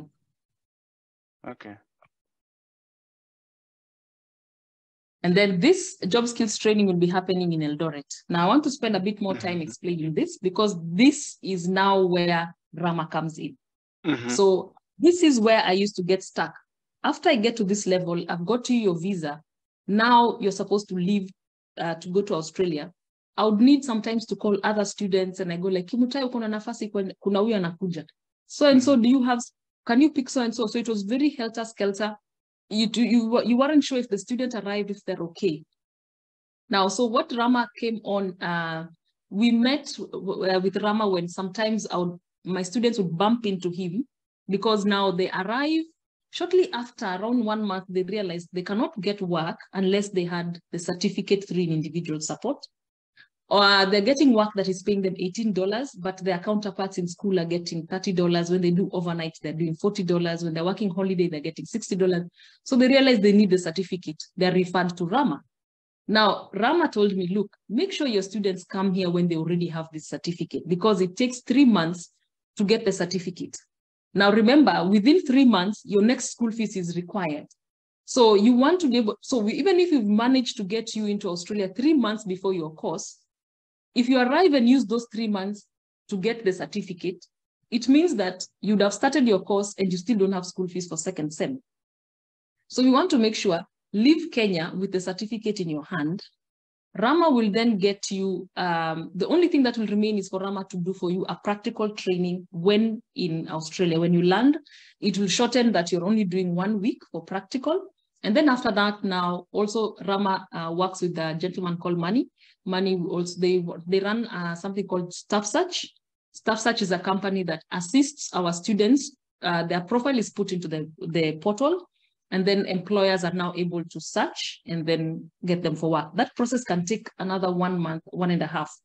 So you want to spend those initial three months getting getting your SIM card, tax file number, accommodation, go go for your practical, go for interviews, not to study. You want to study here, go with that certificate. Mm-hmm. Okay. So Rama will pick from airport. We have a transition transitional accommodation this fee here, 200,000 is budgetary. It's not paid to us. Okay. Mm-hmm. It's budgetary. So you, so that you know, so that you're just aware. The 140,000 also goes directly to the college in Australia. You'll be given the college account, you deposit it there. And then this one also, we can do, do for you the booking. We give you the booking summary. Then you can go to Emirates office or Etihad and then pay the fee there. Yeah. Uh, so the uh, because somebody is asking how much the 200k is uh, in terms of time. How much time is that? Two months. That's two months. That's two months. Okay. Yes. Mm-hmm. With food. With food. So full board. Yes. Two months. Okay. Yes. Yeah, Dorcas, I guess you got your your answer on on on this. Um, right. And and this this is true for everybody or it's only for those who are going there for studies? This is true for everybody going for studies uh, because the, the opposite would be skilled migration and that one, the requirements are different. You kind of get in and there's no school fees requirement. You're just going to look for a job. So it's direct. And normally okay. you need to be able to have funds in your account, at least for the first year without relying on a job, you need to have the funds in your account. Yeah, but you don't you don't have something here that is showing because Linus is asking the um, the costs associated with processing skilled labor migration. Yeah, I can just do a quick draft. That doesn't take me long. Okay. Um, But the best thing would be for him to contact you, I think, right? Yes, yeah, Yeah. yeah, yeah. Because Uh, Linus, please please get in touch with um, with Evelyne because we don't want to do some you know stupid guesswork here. Um, that that will be difficult to take back later, Evelyne. If you promise a number and then later you'll be like, you know, you promised me on TV or on. Yeah. I'm just trying to stick out for you. Um, you. Rugut Junior Lemeto is asking, he has an ELS uh, certificate already. Does he need to do an English language no, uh, training? no. It would mean that now this for him would be removed. Yeah, because uh, that's the same thing with Francie Cheruto. She's saying, suppose I already did an English test, uh, not with you, um, and I met the requirements, and, and there was somebody else who had said he got a seven. I don't know what a seven is. So there was somebody who said he had a seven um, Yeah. in an English language course. Um, so sort of, you know, for Cheruto, because she has passed elsewhere, then it means you are taking away 29K from Yes, yeah, that is what I understood. correct. Yes, Yeah, okay. And also for for Linus because he's he's got the um no Linus was about skilled labor. It was Rugut Junior who was asking about um having ELs already. So is it called ELs or IELTS? I, I don't know. IELTS. Yeah, IELTS. Elibet, um, you need to look at look at the poster that is behind Evelyne's name. Um, or the team that is active. I've seen the team that is active on the uh, on on the comments there. Please guide uh, guide Eli because he's asking where you are located. So Eli, if you are in Nairobi, you better call Evelyne. But if you're in Eldoret, go to Daima uh, Plaza or something like that in Eldoret. But you Oh, will see the address here. yeah. Okay. Go on. Yeah. Yeah. Good. So also the accommodation, remember some people also normally tell me, I have a sister there, I have a cousin there. That's okay. That means for you that will be zero. Okay. So it really depends with what what you what uh, your circumstance is. And that's why normally when we do the uh, free consultation, this comes now to you. So you'll find someone else could have referred you to us and they only spent 700,000. And then when you come, yours will be 1.3. It's because of this dynamics the dynamics that at the time you came, what course were you doing? Do you have a relative who's receiving you? If it's us receiving you, how does that look like? So we need to do this before we proceed. And the exchange rate of the US of, of the Australian Exactly. dollar versus the Kenya shilling. Correct. Yes. Yeah, yeah, yeah. And do you also process dependent uh, visas? So somebody is already in, in Australia. Um, I know Rama was emigrating his family the other day. You know, somebody in, in Australia already, um, and and he needs to get his wife and and infant uh, child to to Australia. Um, is Yeah, that do that. something you handle?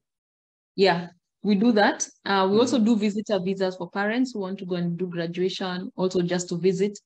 Um, and for parents who might be in this group, actually, it's a very good idea for you to do annual visits because, especially if you target around the harvest months, you're able to take a job, make some money, come back, uchafue Kapsabet, you know, you make people uh, a bit envious of your life because you're allowed, the first time you apply for a visa to Australia for a visitor visa, you'll be given one month and it's so affordable. Um, it is 12,500 for the visit, visitor visa, and then 10,000 for us as the agents to do for you the application. And then you'll have a, a biometrics of 5,000 shillings. So 30,000 down, you have a visa to Australia. The only thing that we might be a bit on the higher side is the ticket because you'd have to pay the 190, whatever the prevailing uh, rates are at that time. Now, once you get there, you have one month, you need to come back to Kenya. Your second application is going to be easier and faster because first we'll have all your documents. Then also uh, you would have met something, you'd have a positive immigration history. Now the second visa would be for three months. And then the third visa will be for six months. And then from there on, you could take the annual visa. And so you can keep now going in and out, multiple entries. So you can even have five, five-year visa on visitor, five-year visa, multiple entry stints of six months, meaning that you're told you need to leave the country after six months, then come back. So you don't need to keep reapplying. So I find that many parents are the, the system is very smooth for them when it's at that stage. So if you as a parent want to go and you don't have a means, then send your child, then you go as the as a visitor. Okay. Evelyne, I don't know because of um, time and and you still had something on your procedure. Do you still have anything to present on the ABCs before uh, I go no. to the questions? No, this actually this is it. Uh, from okay. here now, this person is set. Mm. Yeah, very good. So basically, what you are saying is, um, you know, start by talking to me, either directly or with the team in Eldoret, and please be very clear because I'd like people to be very clear. Be very clear. Hey, I'm looking at, you know, going to Australia. My name is, like I said, Kiplumda. I like using that name, you know, Kiplumda from Taragon, wherever it is. Or I'm Wanjoy from Nyeri. I followed the program, super program, spoken in English. Um, people are already telling me here, you know, super fantastic English from the lady. I like it. I see Mwalimu Gibitogarabet. He says, uh, He's very good in English. We love to test you, Gvito, um, especially for the typical Nandi twang. Um, but he says he sees an opportunity of being a, a trainer and he's wondering whether you would like to engage him to provide the training in Eldoret. I guess the best answer I would give is get in touch with Evelyne, um, you know, directly using her number. Karoli Jemigin Jemigin is saying he has a son he likes he likes always asking me about his son. He really loves him. John Paul, I think he named him after the Catholic uh, bishop. Um, Karoli comes from Jepkunyuk. His son is in second year. He'd like to send him to Australia. Will you provide to his son help that he doesn't fall into drugs? Karoli. Oh, yeah. That oh. is uh, Rama's question.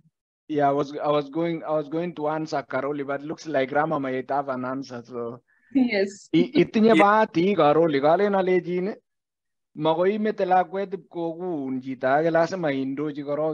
Okay. Rama, you didn't understand what I said, which is very good. Go on. Yeah, thank you very much. A very good question.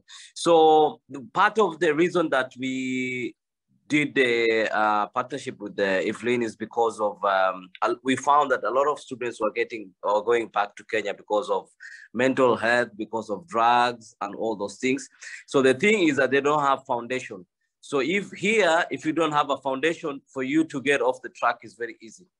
So once the student comes here, I pick them from the airport, they come in, I take them to the office, we sit down, make a plan, uh, go back, you know, go through with them to make sure that they understand the uh, do counseling, make sure that they understand uh, everything. They get to know uh, information about the place. I give them the hard facts of how it is, and then we set up goals. You know, let's let's try and achieve this in terms of getting job and getting. So I keep them uh, engaged and keep them motivated to do things. So with that, um, I will I I'll be able to know that they're okay. So if in case of if they're having a problem in school, if they're not attending school, I make sure that um I uh, I go and uh, look for them, you know, talk to them, cancel and do all those stuff. So when a parent brings them through our system, they should they should sit down and make sure that we will be able to follow up with them. And they can be able to follow up with us if they need anything apart from the students. If they go they can't go to Helderim, they'll be able to contact us. We'll be able to look for the students make sure that they are on the right track. So the parents should rest assure us if the student goes through us we will be able to take care of them. Thank you very much. And i, and I think you know there is a there is obviously a big problem everywhere with drugs and, and it's it's also very good that as parents we we play our role.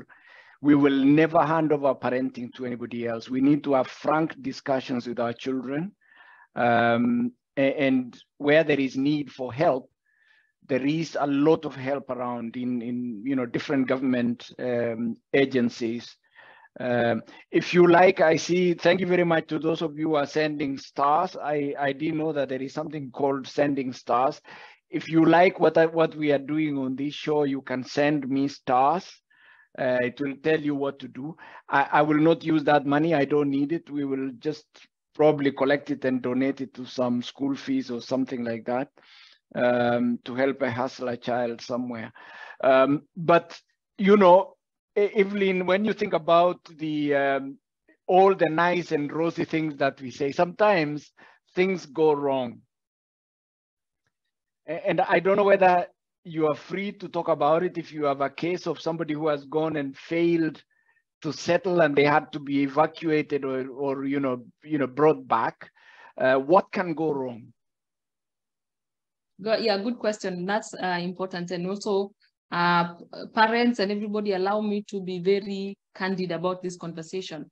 Now, for girls especially, um, there are these uh, West Africans who like to uh, pry on our girls, especially when they've just arrived. And so you find they get into relationships. Uh, I do have cases where students do not continue with school. In fact, the West Africans uh, will will will push the girls to ask for money to come from home. You know, tell them you want, tell them you want this, tell them you want this, especially for those girls who have come from well-off families. Our hustlers, our kienyeji's, we are safe. But people who are going to do the radiology, they're being paid for 3 million, they're not working, they're not, they're just sitting at, they're just going to school, coming back, going to school. Unfortunately, I have had to, two have had to come back because they did not complete their course. And in Australia, if you do not, if you do not attend even two classes, your COE is cancelled. And when your COE is cancelled, the next thing is for you to go and hear uh, for a hearing for deportation, and that's it. Then you leave. If you're not able to get another COE quick enough, you leave the country. And once you leave, you cannot reapply and say, oh, you know, I was deported, now I'm trying to come back. That's it. So for these students, I've had to take them to Malaysia because Malaysia does have universities that are Australian, and then they complete their course there. Now, some of them get pregnant. We've had Harambees for girls who got pregnant there. And remember, uh, childcare is very costly if you don't have a spouse. If the pregnancy was not a decision made, then you find that they are they're depressed, they're not going to school, oops, COE cancelled, or now they're not, they're not even able, maybe they, they're not able to cope with that information, you know, that they're pregnant, maybe the baba mtoto ameruka. We do have those issues. So I usually tell parents, if you have a girl child, just before they leave, take them to Marie Stopes get them a coil, because at least the day they want to remove that coil, a coil can stay in a woman for 10 years. The day they want to remove it, it is it's a conscious decision that I'm removing this because I want to be a mother. We don't want oops mothers in Australia, not yet. Let them first study. And then, because we cannot say that you will talk to your daughter and tell them, you know, don't get into relationships. They will get into relationships. And especially those ones who are going to do courses that are on a, a skill on demand. People who are doing nursing, they are preyed upon because men who were doing courses that are not leading them to permanent residency would want to get a partner visa. So they start befriending them, they get them pregnant, they start living together. You'll find the man is happy to cook and clean and drive around. And then the lady will get permanent residency and the man automatically becomes a spouse. And then after that, now you find the domestic issues start and then they split. So that happens, that is a real thing. So you've got to speak to uh, your girl child. Now for boys, um, I find it is the pressure from parents for them to be on their two feet immediately they arrive. So this one is the reverse. The pressure is coming from home for boys.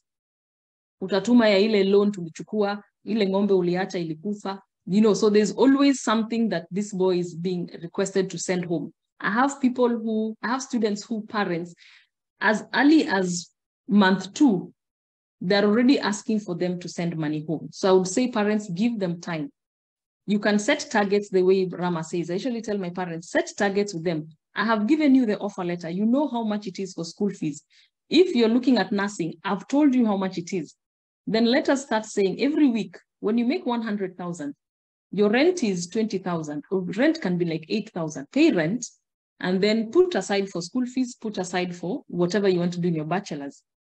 And then, then you, both of you have a realistic view as to exactly how much can this son send back home.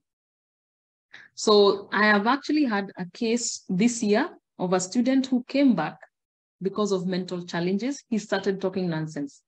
Mm -hmm. He just, and uh, when he was asked what the problem is, he said the students, the, the other students in his college were laughing about his pimples And that is what caused his mental breakdown.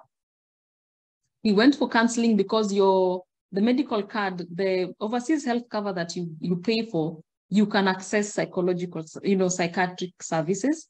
And he did go for psychiatric. He went, he went so many sessions, so many sessions, but we were unable to turn around the situation. And so he had to come back. He left in February this year. He came back by end of July.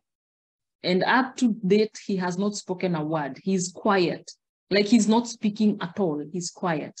So we had to cancel his visa and then we get the refund. Because, you know, in Australia, as I told you, your tuition is protected at any level. So we canceled the visa and we got the tuition refunded back to the parents. Of course, it's very heartbreaking for the parents to have sent a person who, if they had stayed, there could have been something in Kenya, but now you, you pushed them and now they're in a different situation and now they've come back and now it's useless even for Kenya. So do not pressure your child. Give them realistic targets in terms of how much they can make, how much they can send home. Don't just keep taking money. You don't know what they're doing for that money. Just keep telling them maliza shule kwanza so that they're comfortable. So when they're sending, it's the extra that they're sending. Another situation that I find is um, students who arrive in Australia and then um, they get uh, like, and, and this is happening a lot. A student arrives in Australia, we put them in a campus, like in a college in Perth, and then suddenly we get emails from the college saying that the student has is is uh, uh, is doing a course variation, and they are going to Hobart or they are going to Sydney. Okay, so those changes also you lose the money because that one is not uh, your tuition is not protected when you go against the agreement. So you lose the money. Then they have to pay again for the other one. Sometimes there are penalties.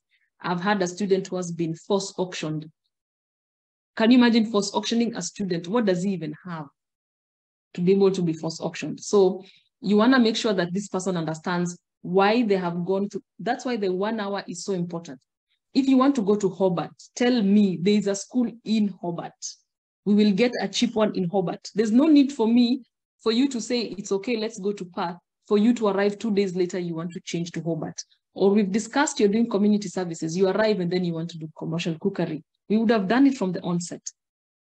So be open, be free. I am not the kind of agent who's going to force you into a mold. You tell me, I'll tell you if it works or not. And then we work with your circumstances. Very good. Thanks a lot. I mean, I'm I'm seeing questions here coming from Linus. He's asking whether it is advisable for him to go with his spouse um, on a couple's visa, or would you recommend that one goes ahead first? Okay, now uh, there you normally have the things that make people go separately is because of the cost. Remember the student health cover is mandatory. And if you go as a couple, the math just becomes crazy. So if you're going as a single student, you'll find that you'll be paying a health cover of 160,000. If you're going as a couple, that jumps and becomes 900,000. So if your pocket is, is, um, is can do it, then you go for it. The other thing that um, you have to look at is the, the bank statement requirement. If you're going as a student alone, then your bank statement will be 2.8, 3.5 million. If you're going with a spouse, then it jumps to 6 million. So those are, those are also evidentiary requirements that can suppress the process. Another thing also that you look at is the course level. Master's students are the ones who are most likely to be successful to go as a couple. But diploma students, degree students, can cause a refusal. And then they will say that your, your, your social ties, you know, you need to be tied to your home country. Your social ties, the balance is off. If you're going with the only person that uh, is your family and tying you to your home country and you're going with them, then you have more ties to Australia than in Kenya and your visa will be refused. So if I tell you for your circumstance, it's not possible, Sometimes I do get pushback and someone says, mbona akina Amesha walitoka pamoja? I actually say it's possible, yes, but I'm just telling you the difficulty in doing it. So I, my personal opinion is let one person go first. And then once the person is uh, already settled in Australia, four months later, then you do a, a dependent visa. Yeah, Evelyne, uh, there is there is a question from i mean patrick thanks a lot for the nice comment he's asking me to host a lot of these uh, types of, of uh, forums. We do have, if you navigate to the video section of these or go to my, my YouTube channel, you will notice um, that we are practically a library of uh, information. It's only that we mix sometimes we we do blah blah and then we do this kind of stuff. So probably uh, a bit of focus will help us.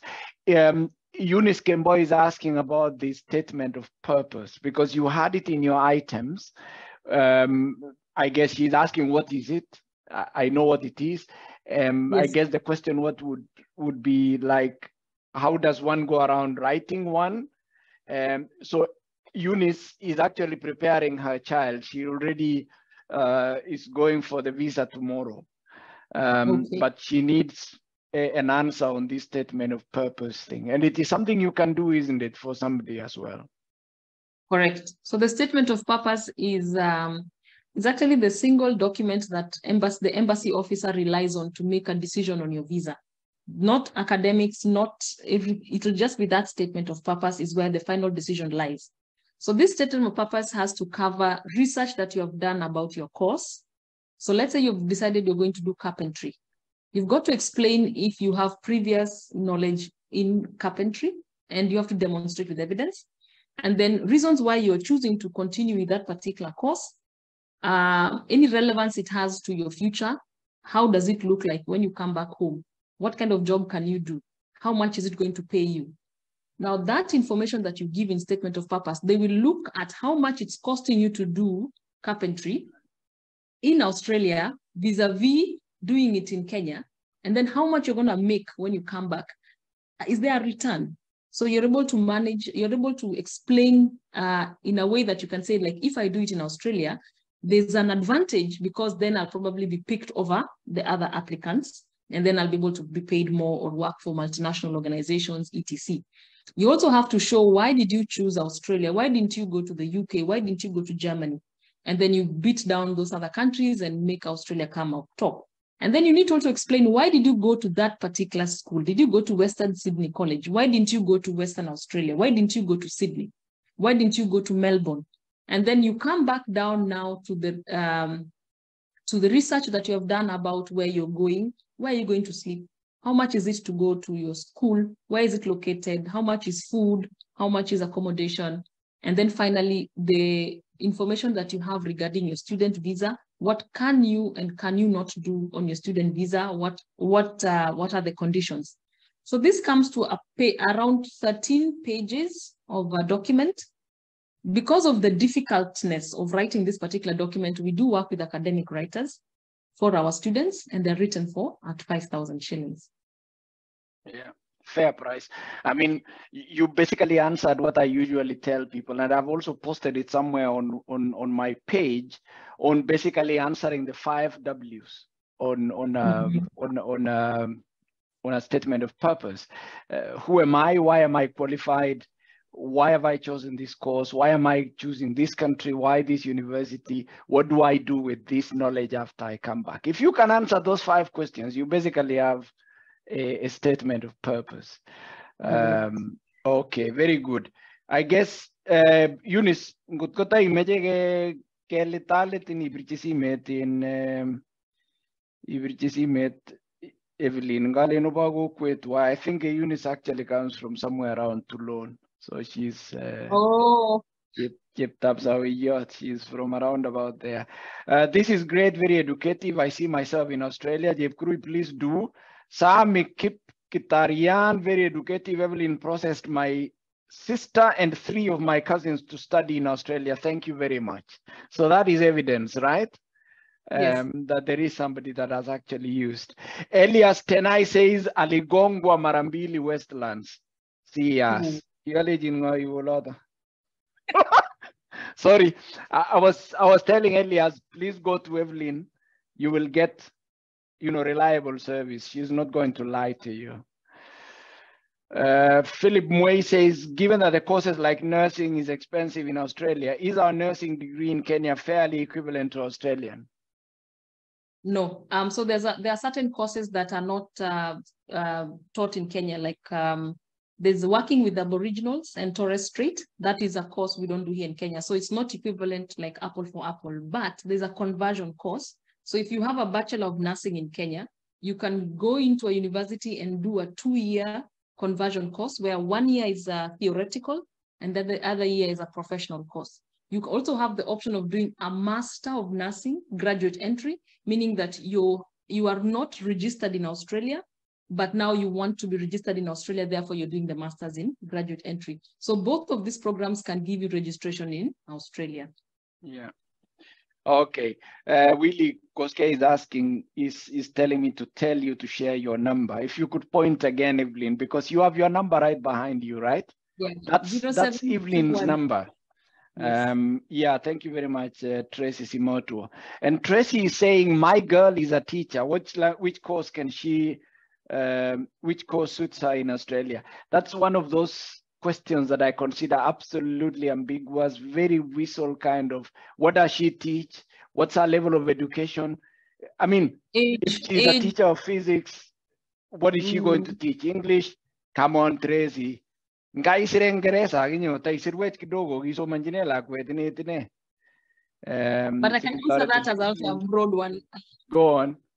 You want to make sure that as we choose the course, you stay within the skills occupation list, which is actually, it's published every year by the government. So if you just Google skills occupation list Australia, you will see the full list. Now for people who have done teaching, there, there are three ways you can go into education in Australia. Number one is to go and uh, be a front, front facing, meaning you're teaching, like primary school or secondary school teacher. This has been the most difficult for Africans because of the English requirement. You need to get an 8.5 in IELTS. So that one we've never gotten anybody in front of a class. You can also go into policy making or admin functions. So that would be a, a Bachelor of Education or Master of Education. And then the third one is actually to go into special education. And that's where there's a lot of growth and opportunity. So if you go to, uh, if you go, if probably you have a Bachelor of Education in Australia, I mean, in Kenya, whichever subject, you can go and do a Master of Education special needs or special education. There's also special education advanced. Cheapest campus for that is Torrens University, two-year program. And while you're doing the two-year program, I would, I would encourage you to go and learn sign language or Braille, because then you get permanent residency, because then you have something that they want. And the English requirement is lower, it's 6.5. Yeah. Okay. Um, Kirwa says, I, I look very smart today. Uh, thank you. I do always, actually. It's just that today I'm wearing the Kenya Kwanza necktie. Uh, tos ko wear mic, PSO? Uh, yellow tie challenge. Can someone with a D plus qualify for any course? The word there that I underline is any. Sorry, no, because you, just need to be very specific. Mato tortelago by any cause. Any cause is a disaster. What is the passion of this child? Does the child feel like I want to be a carpenter, I want to be a mason, I want to be a teacher, I want to be a nurse, I want to be a, you know, an askari or whatever it is. Um, so yes, a D plus from what I understood from Evelyne is also eligible for immigration to Australia to a vocational course, but it's not going to be any course.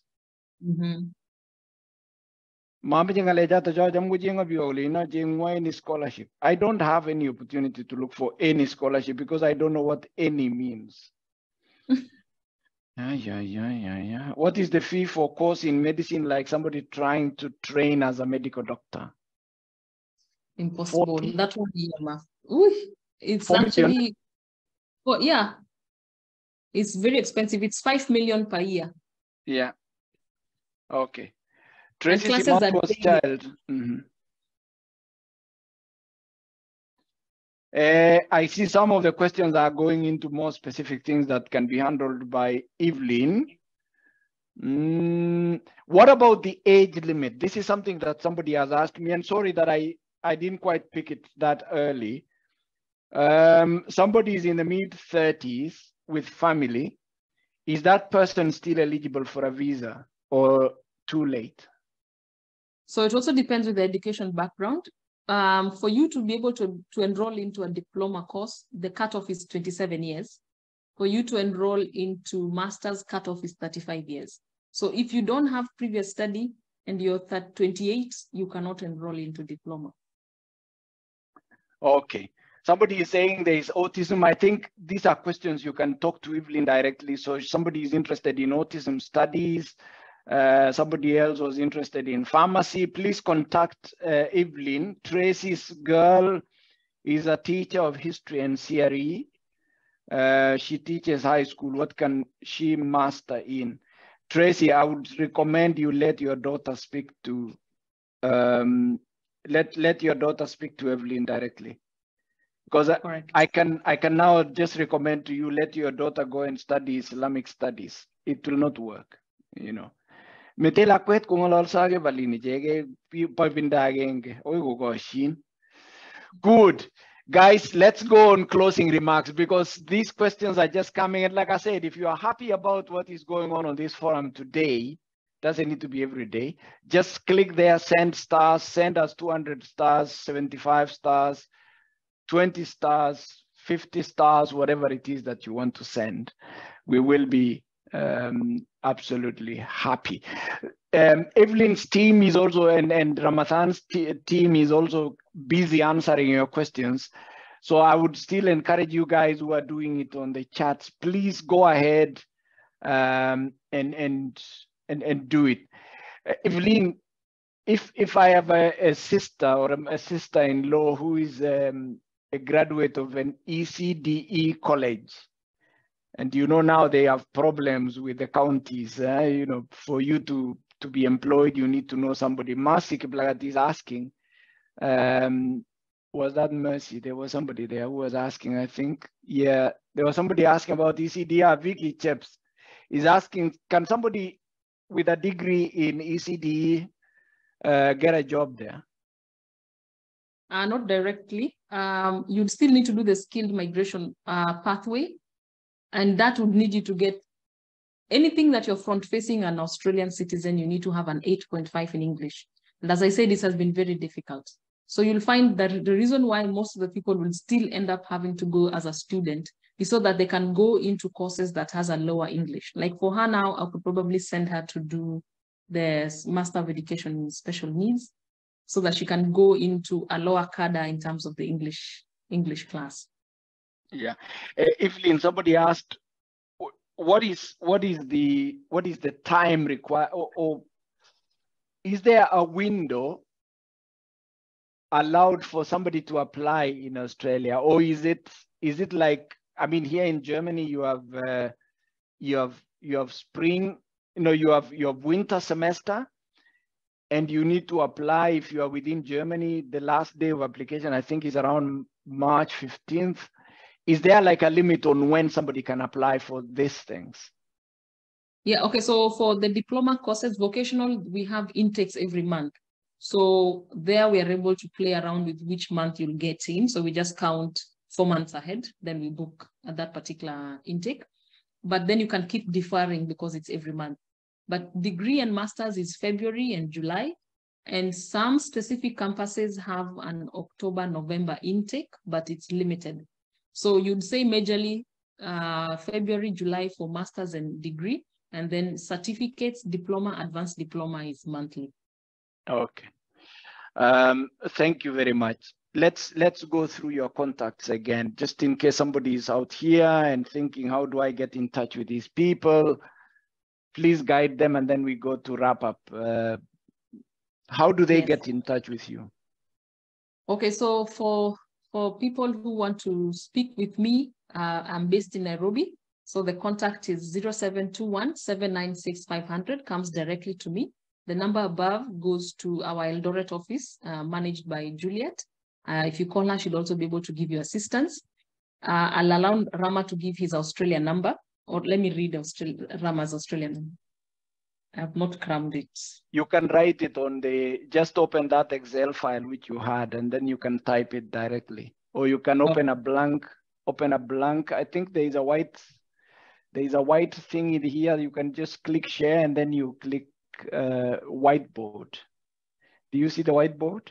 Yes. Yeah, just type it there on the whiteboard. Just share and uh, yeah, like that. Uh, Ramadhan Kiprono, right? Yes. And Rama, you are in Perth.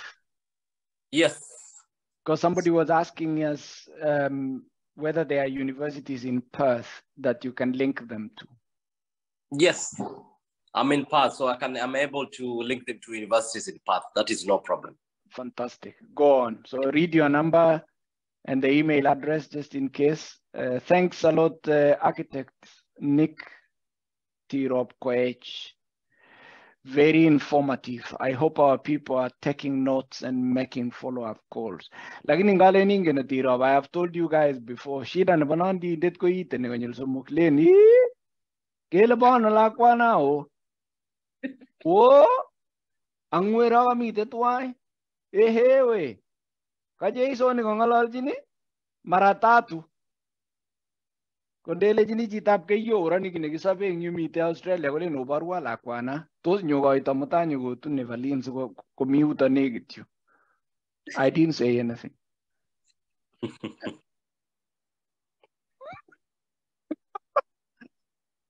so these are your numbers contacts for um, Rama. Please, guys, if you're introducing yourself, just introduce yourself. Hi. Agiriba mutawe sister. No, just start. Hello. My name is. I am from.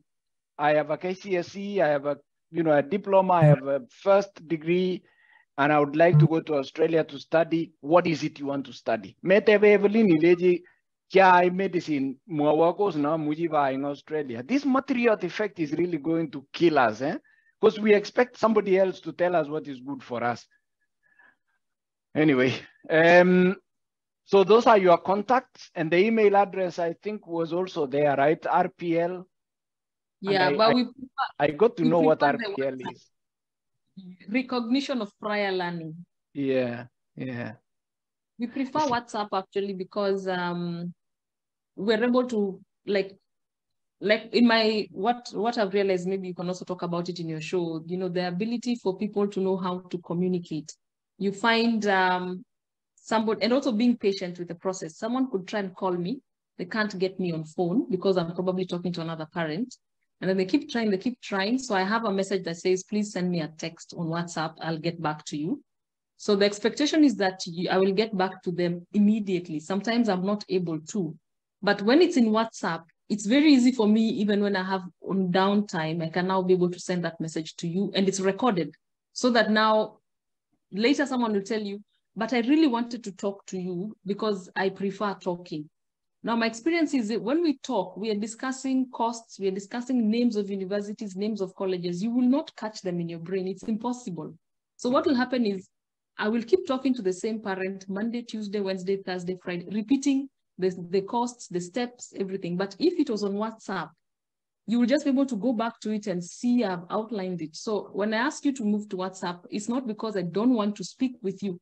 It's because I know it's the most efficient way to send this information to you and for you to have that library with you wherever you go. You can be able to check if somebody else needs that information, especially students who come to me, they want to go talk to their dad and their mom. You have it in WhatsApp. It's easy to show, it's easy to forward. But if it's on phone, I really don't like it on phone because I find the repetition element, sometimes even in a day, four times. And then after I finish talking to the mom, the dad will call and then we repeat everything again. And then sometimes even the grandmother. So it's better when we do it, it's better when we do it on WhatsApp. yeah, I, I Yeah. agree. Thank you very much, guys. I mean, I don't know. Rama, do you have any last reflections on this? Did Evelyne leave out anything from her excellent presentation? Um, no, I think so far so good. We captured the A to Z. We've captured uh, everything. But what uh, I want to assure is that uh, we offer honest service. We have uh, testimonials, and uh, um, back here, I, I I do my best to be able to help them get uh, you know uh, get into the the industry, get uh, sit, sit down, make sure they have everything. So I'll say that we have a comprehensive um, service that they can keep assured that we'll be able to take care of them. Yeah. Yeah, very good. And and Rama, you are there with family is because somebody was asking me uh, when I asked you about the costs of somebody with a, vocational uh, training. Yes. Uh, is that money that you showed, is it Yeah. enough to support somebody's, um, you know, uh, upkeep in Australia? Um, I say uh, for the for the moment, yes, it is. But uh, you know, also with the economy at the moment is a little bit tricky. Uh, things are expensive at the moment, but uh, there are details of how we can be able to, you know, show them where how they can be able to survive. Their their tips that they can be able to survive. Their shared houses. There are a lot of uh, things that we can be able to help. It's just not uh, since it's hard now. It's we cannot do it. We are all surviving, but we will be able to show them the right structure and the right way to be able to achieve all those. Okay, good. And please, guys, when you go abroad, just remember your brother, your sister, your cousin, your uncle is not there. Number one. Number two, you are not waking up every morning just chasing that animal out there to go and milk a cow. You rely on the supermarket. That's your that's your gabungu, that's your cow, that's your dairy, that's everything. So metoe chito karkenatet yobo in kapseret kap ndege yo kole silony ndegeit newendi Nairobi. Ibimete karkenatet nekakong'et ing Nairobi silony ndegeit newendi bitonin. Ngimi bitonin ko itiondo akinye. Makoi karkenchi chi. Ndakikikarken itai kemildech kebe gaa. Nguno kole koikoryon chitugul ngichul kole kolale konda nebo kwong'ut ikere chito direct komismis chumbindet. Lakini memismis ngot kong'et lolet. Okay. Evelyne, um, I know you have you have nearly a course. I don't know who she is or who is. Uh, somebody came there. Nelly, do you want to say hi? Jaber. I think she's a student. Yeah. Hi, Hi, Nelly. What are you doing um, at, at Magister? okay, I was connected here by my friend Rema. Yes. Yeah, You're going through the process of uh, emigrating to Australia, right? not yet. I just wanted to know more about it. Did, did the show ben- benefit you? Yeah, so much. Fantastic. If you have any questions, please get in touch with the team in Eldoret or, or Evelyne directly. Yeah. Okay, Pleasure having your company here. you too. Thank you. I saw that Beatrice ran away. I must have uh, scared her. Guys, uh, Evelyn, do you want to say, you know, your wrap up uh, comments? Uh, Alima is saying, God bless you. So you can imagine you're getting a lot of God bless yous today. I eh? you, I live off it. Like I can even cross the road without checking. Yeah, it's it's been great having you, Evelyne. I'm super impressed actually. You know, you are very eloquent, um, very clear on your communication, very structured. All I can do is to wish you well because it looks like you are part of the girls I've been talking about, Chip Keegan, Jeva Muren, you know, the, the, the woman that that should um, basically be admired by by every young man. Um, and I was I was remembering what you said that a lot of people really bring children and they sponsor them and help them, and you are being very frank and honest with parents to tell them not to over push their children. And I think that's really uh, something that doesn't come out of nowhere. It must have come from your own experience as a person, you know, interacting with people who went through these difficulties. Um, and and what we do on my show is to create opportunities, to create the links, to allow people to uh, you know access these opportunities for no fee. I didn't charge them anything, um, and and I- I don't intend to because to me this is part of giving back to society to open up the uh, the knowledge and allow you guys who are listening to us, the over 150 that were following at one time, to really access these opportunities.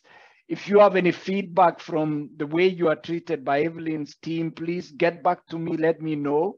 I might be able to to to you know follow up with her. if you have some nice comments, leave comments for, for us on, on the show. Um, if you've had an experience with them and you had a breakthrough, it would be great that others learn from, from you know, your experience with them. If you have something that was not very good and you know it is, please don't tell us, go and tell Evelyne directly. That might help her because I guess she works as well on feedback, right? Correct, yes.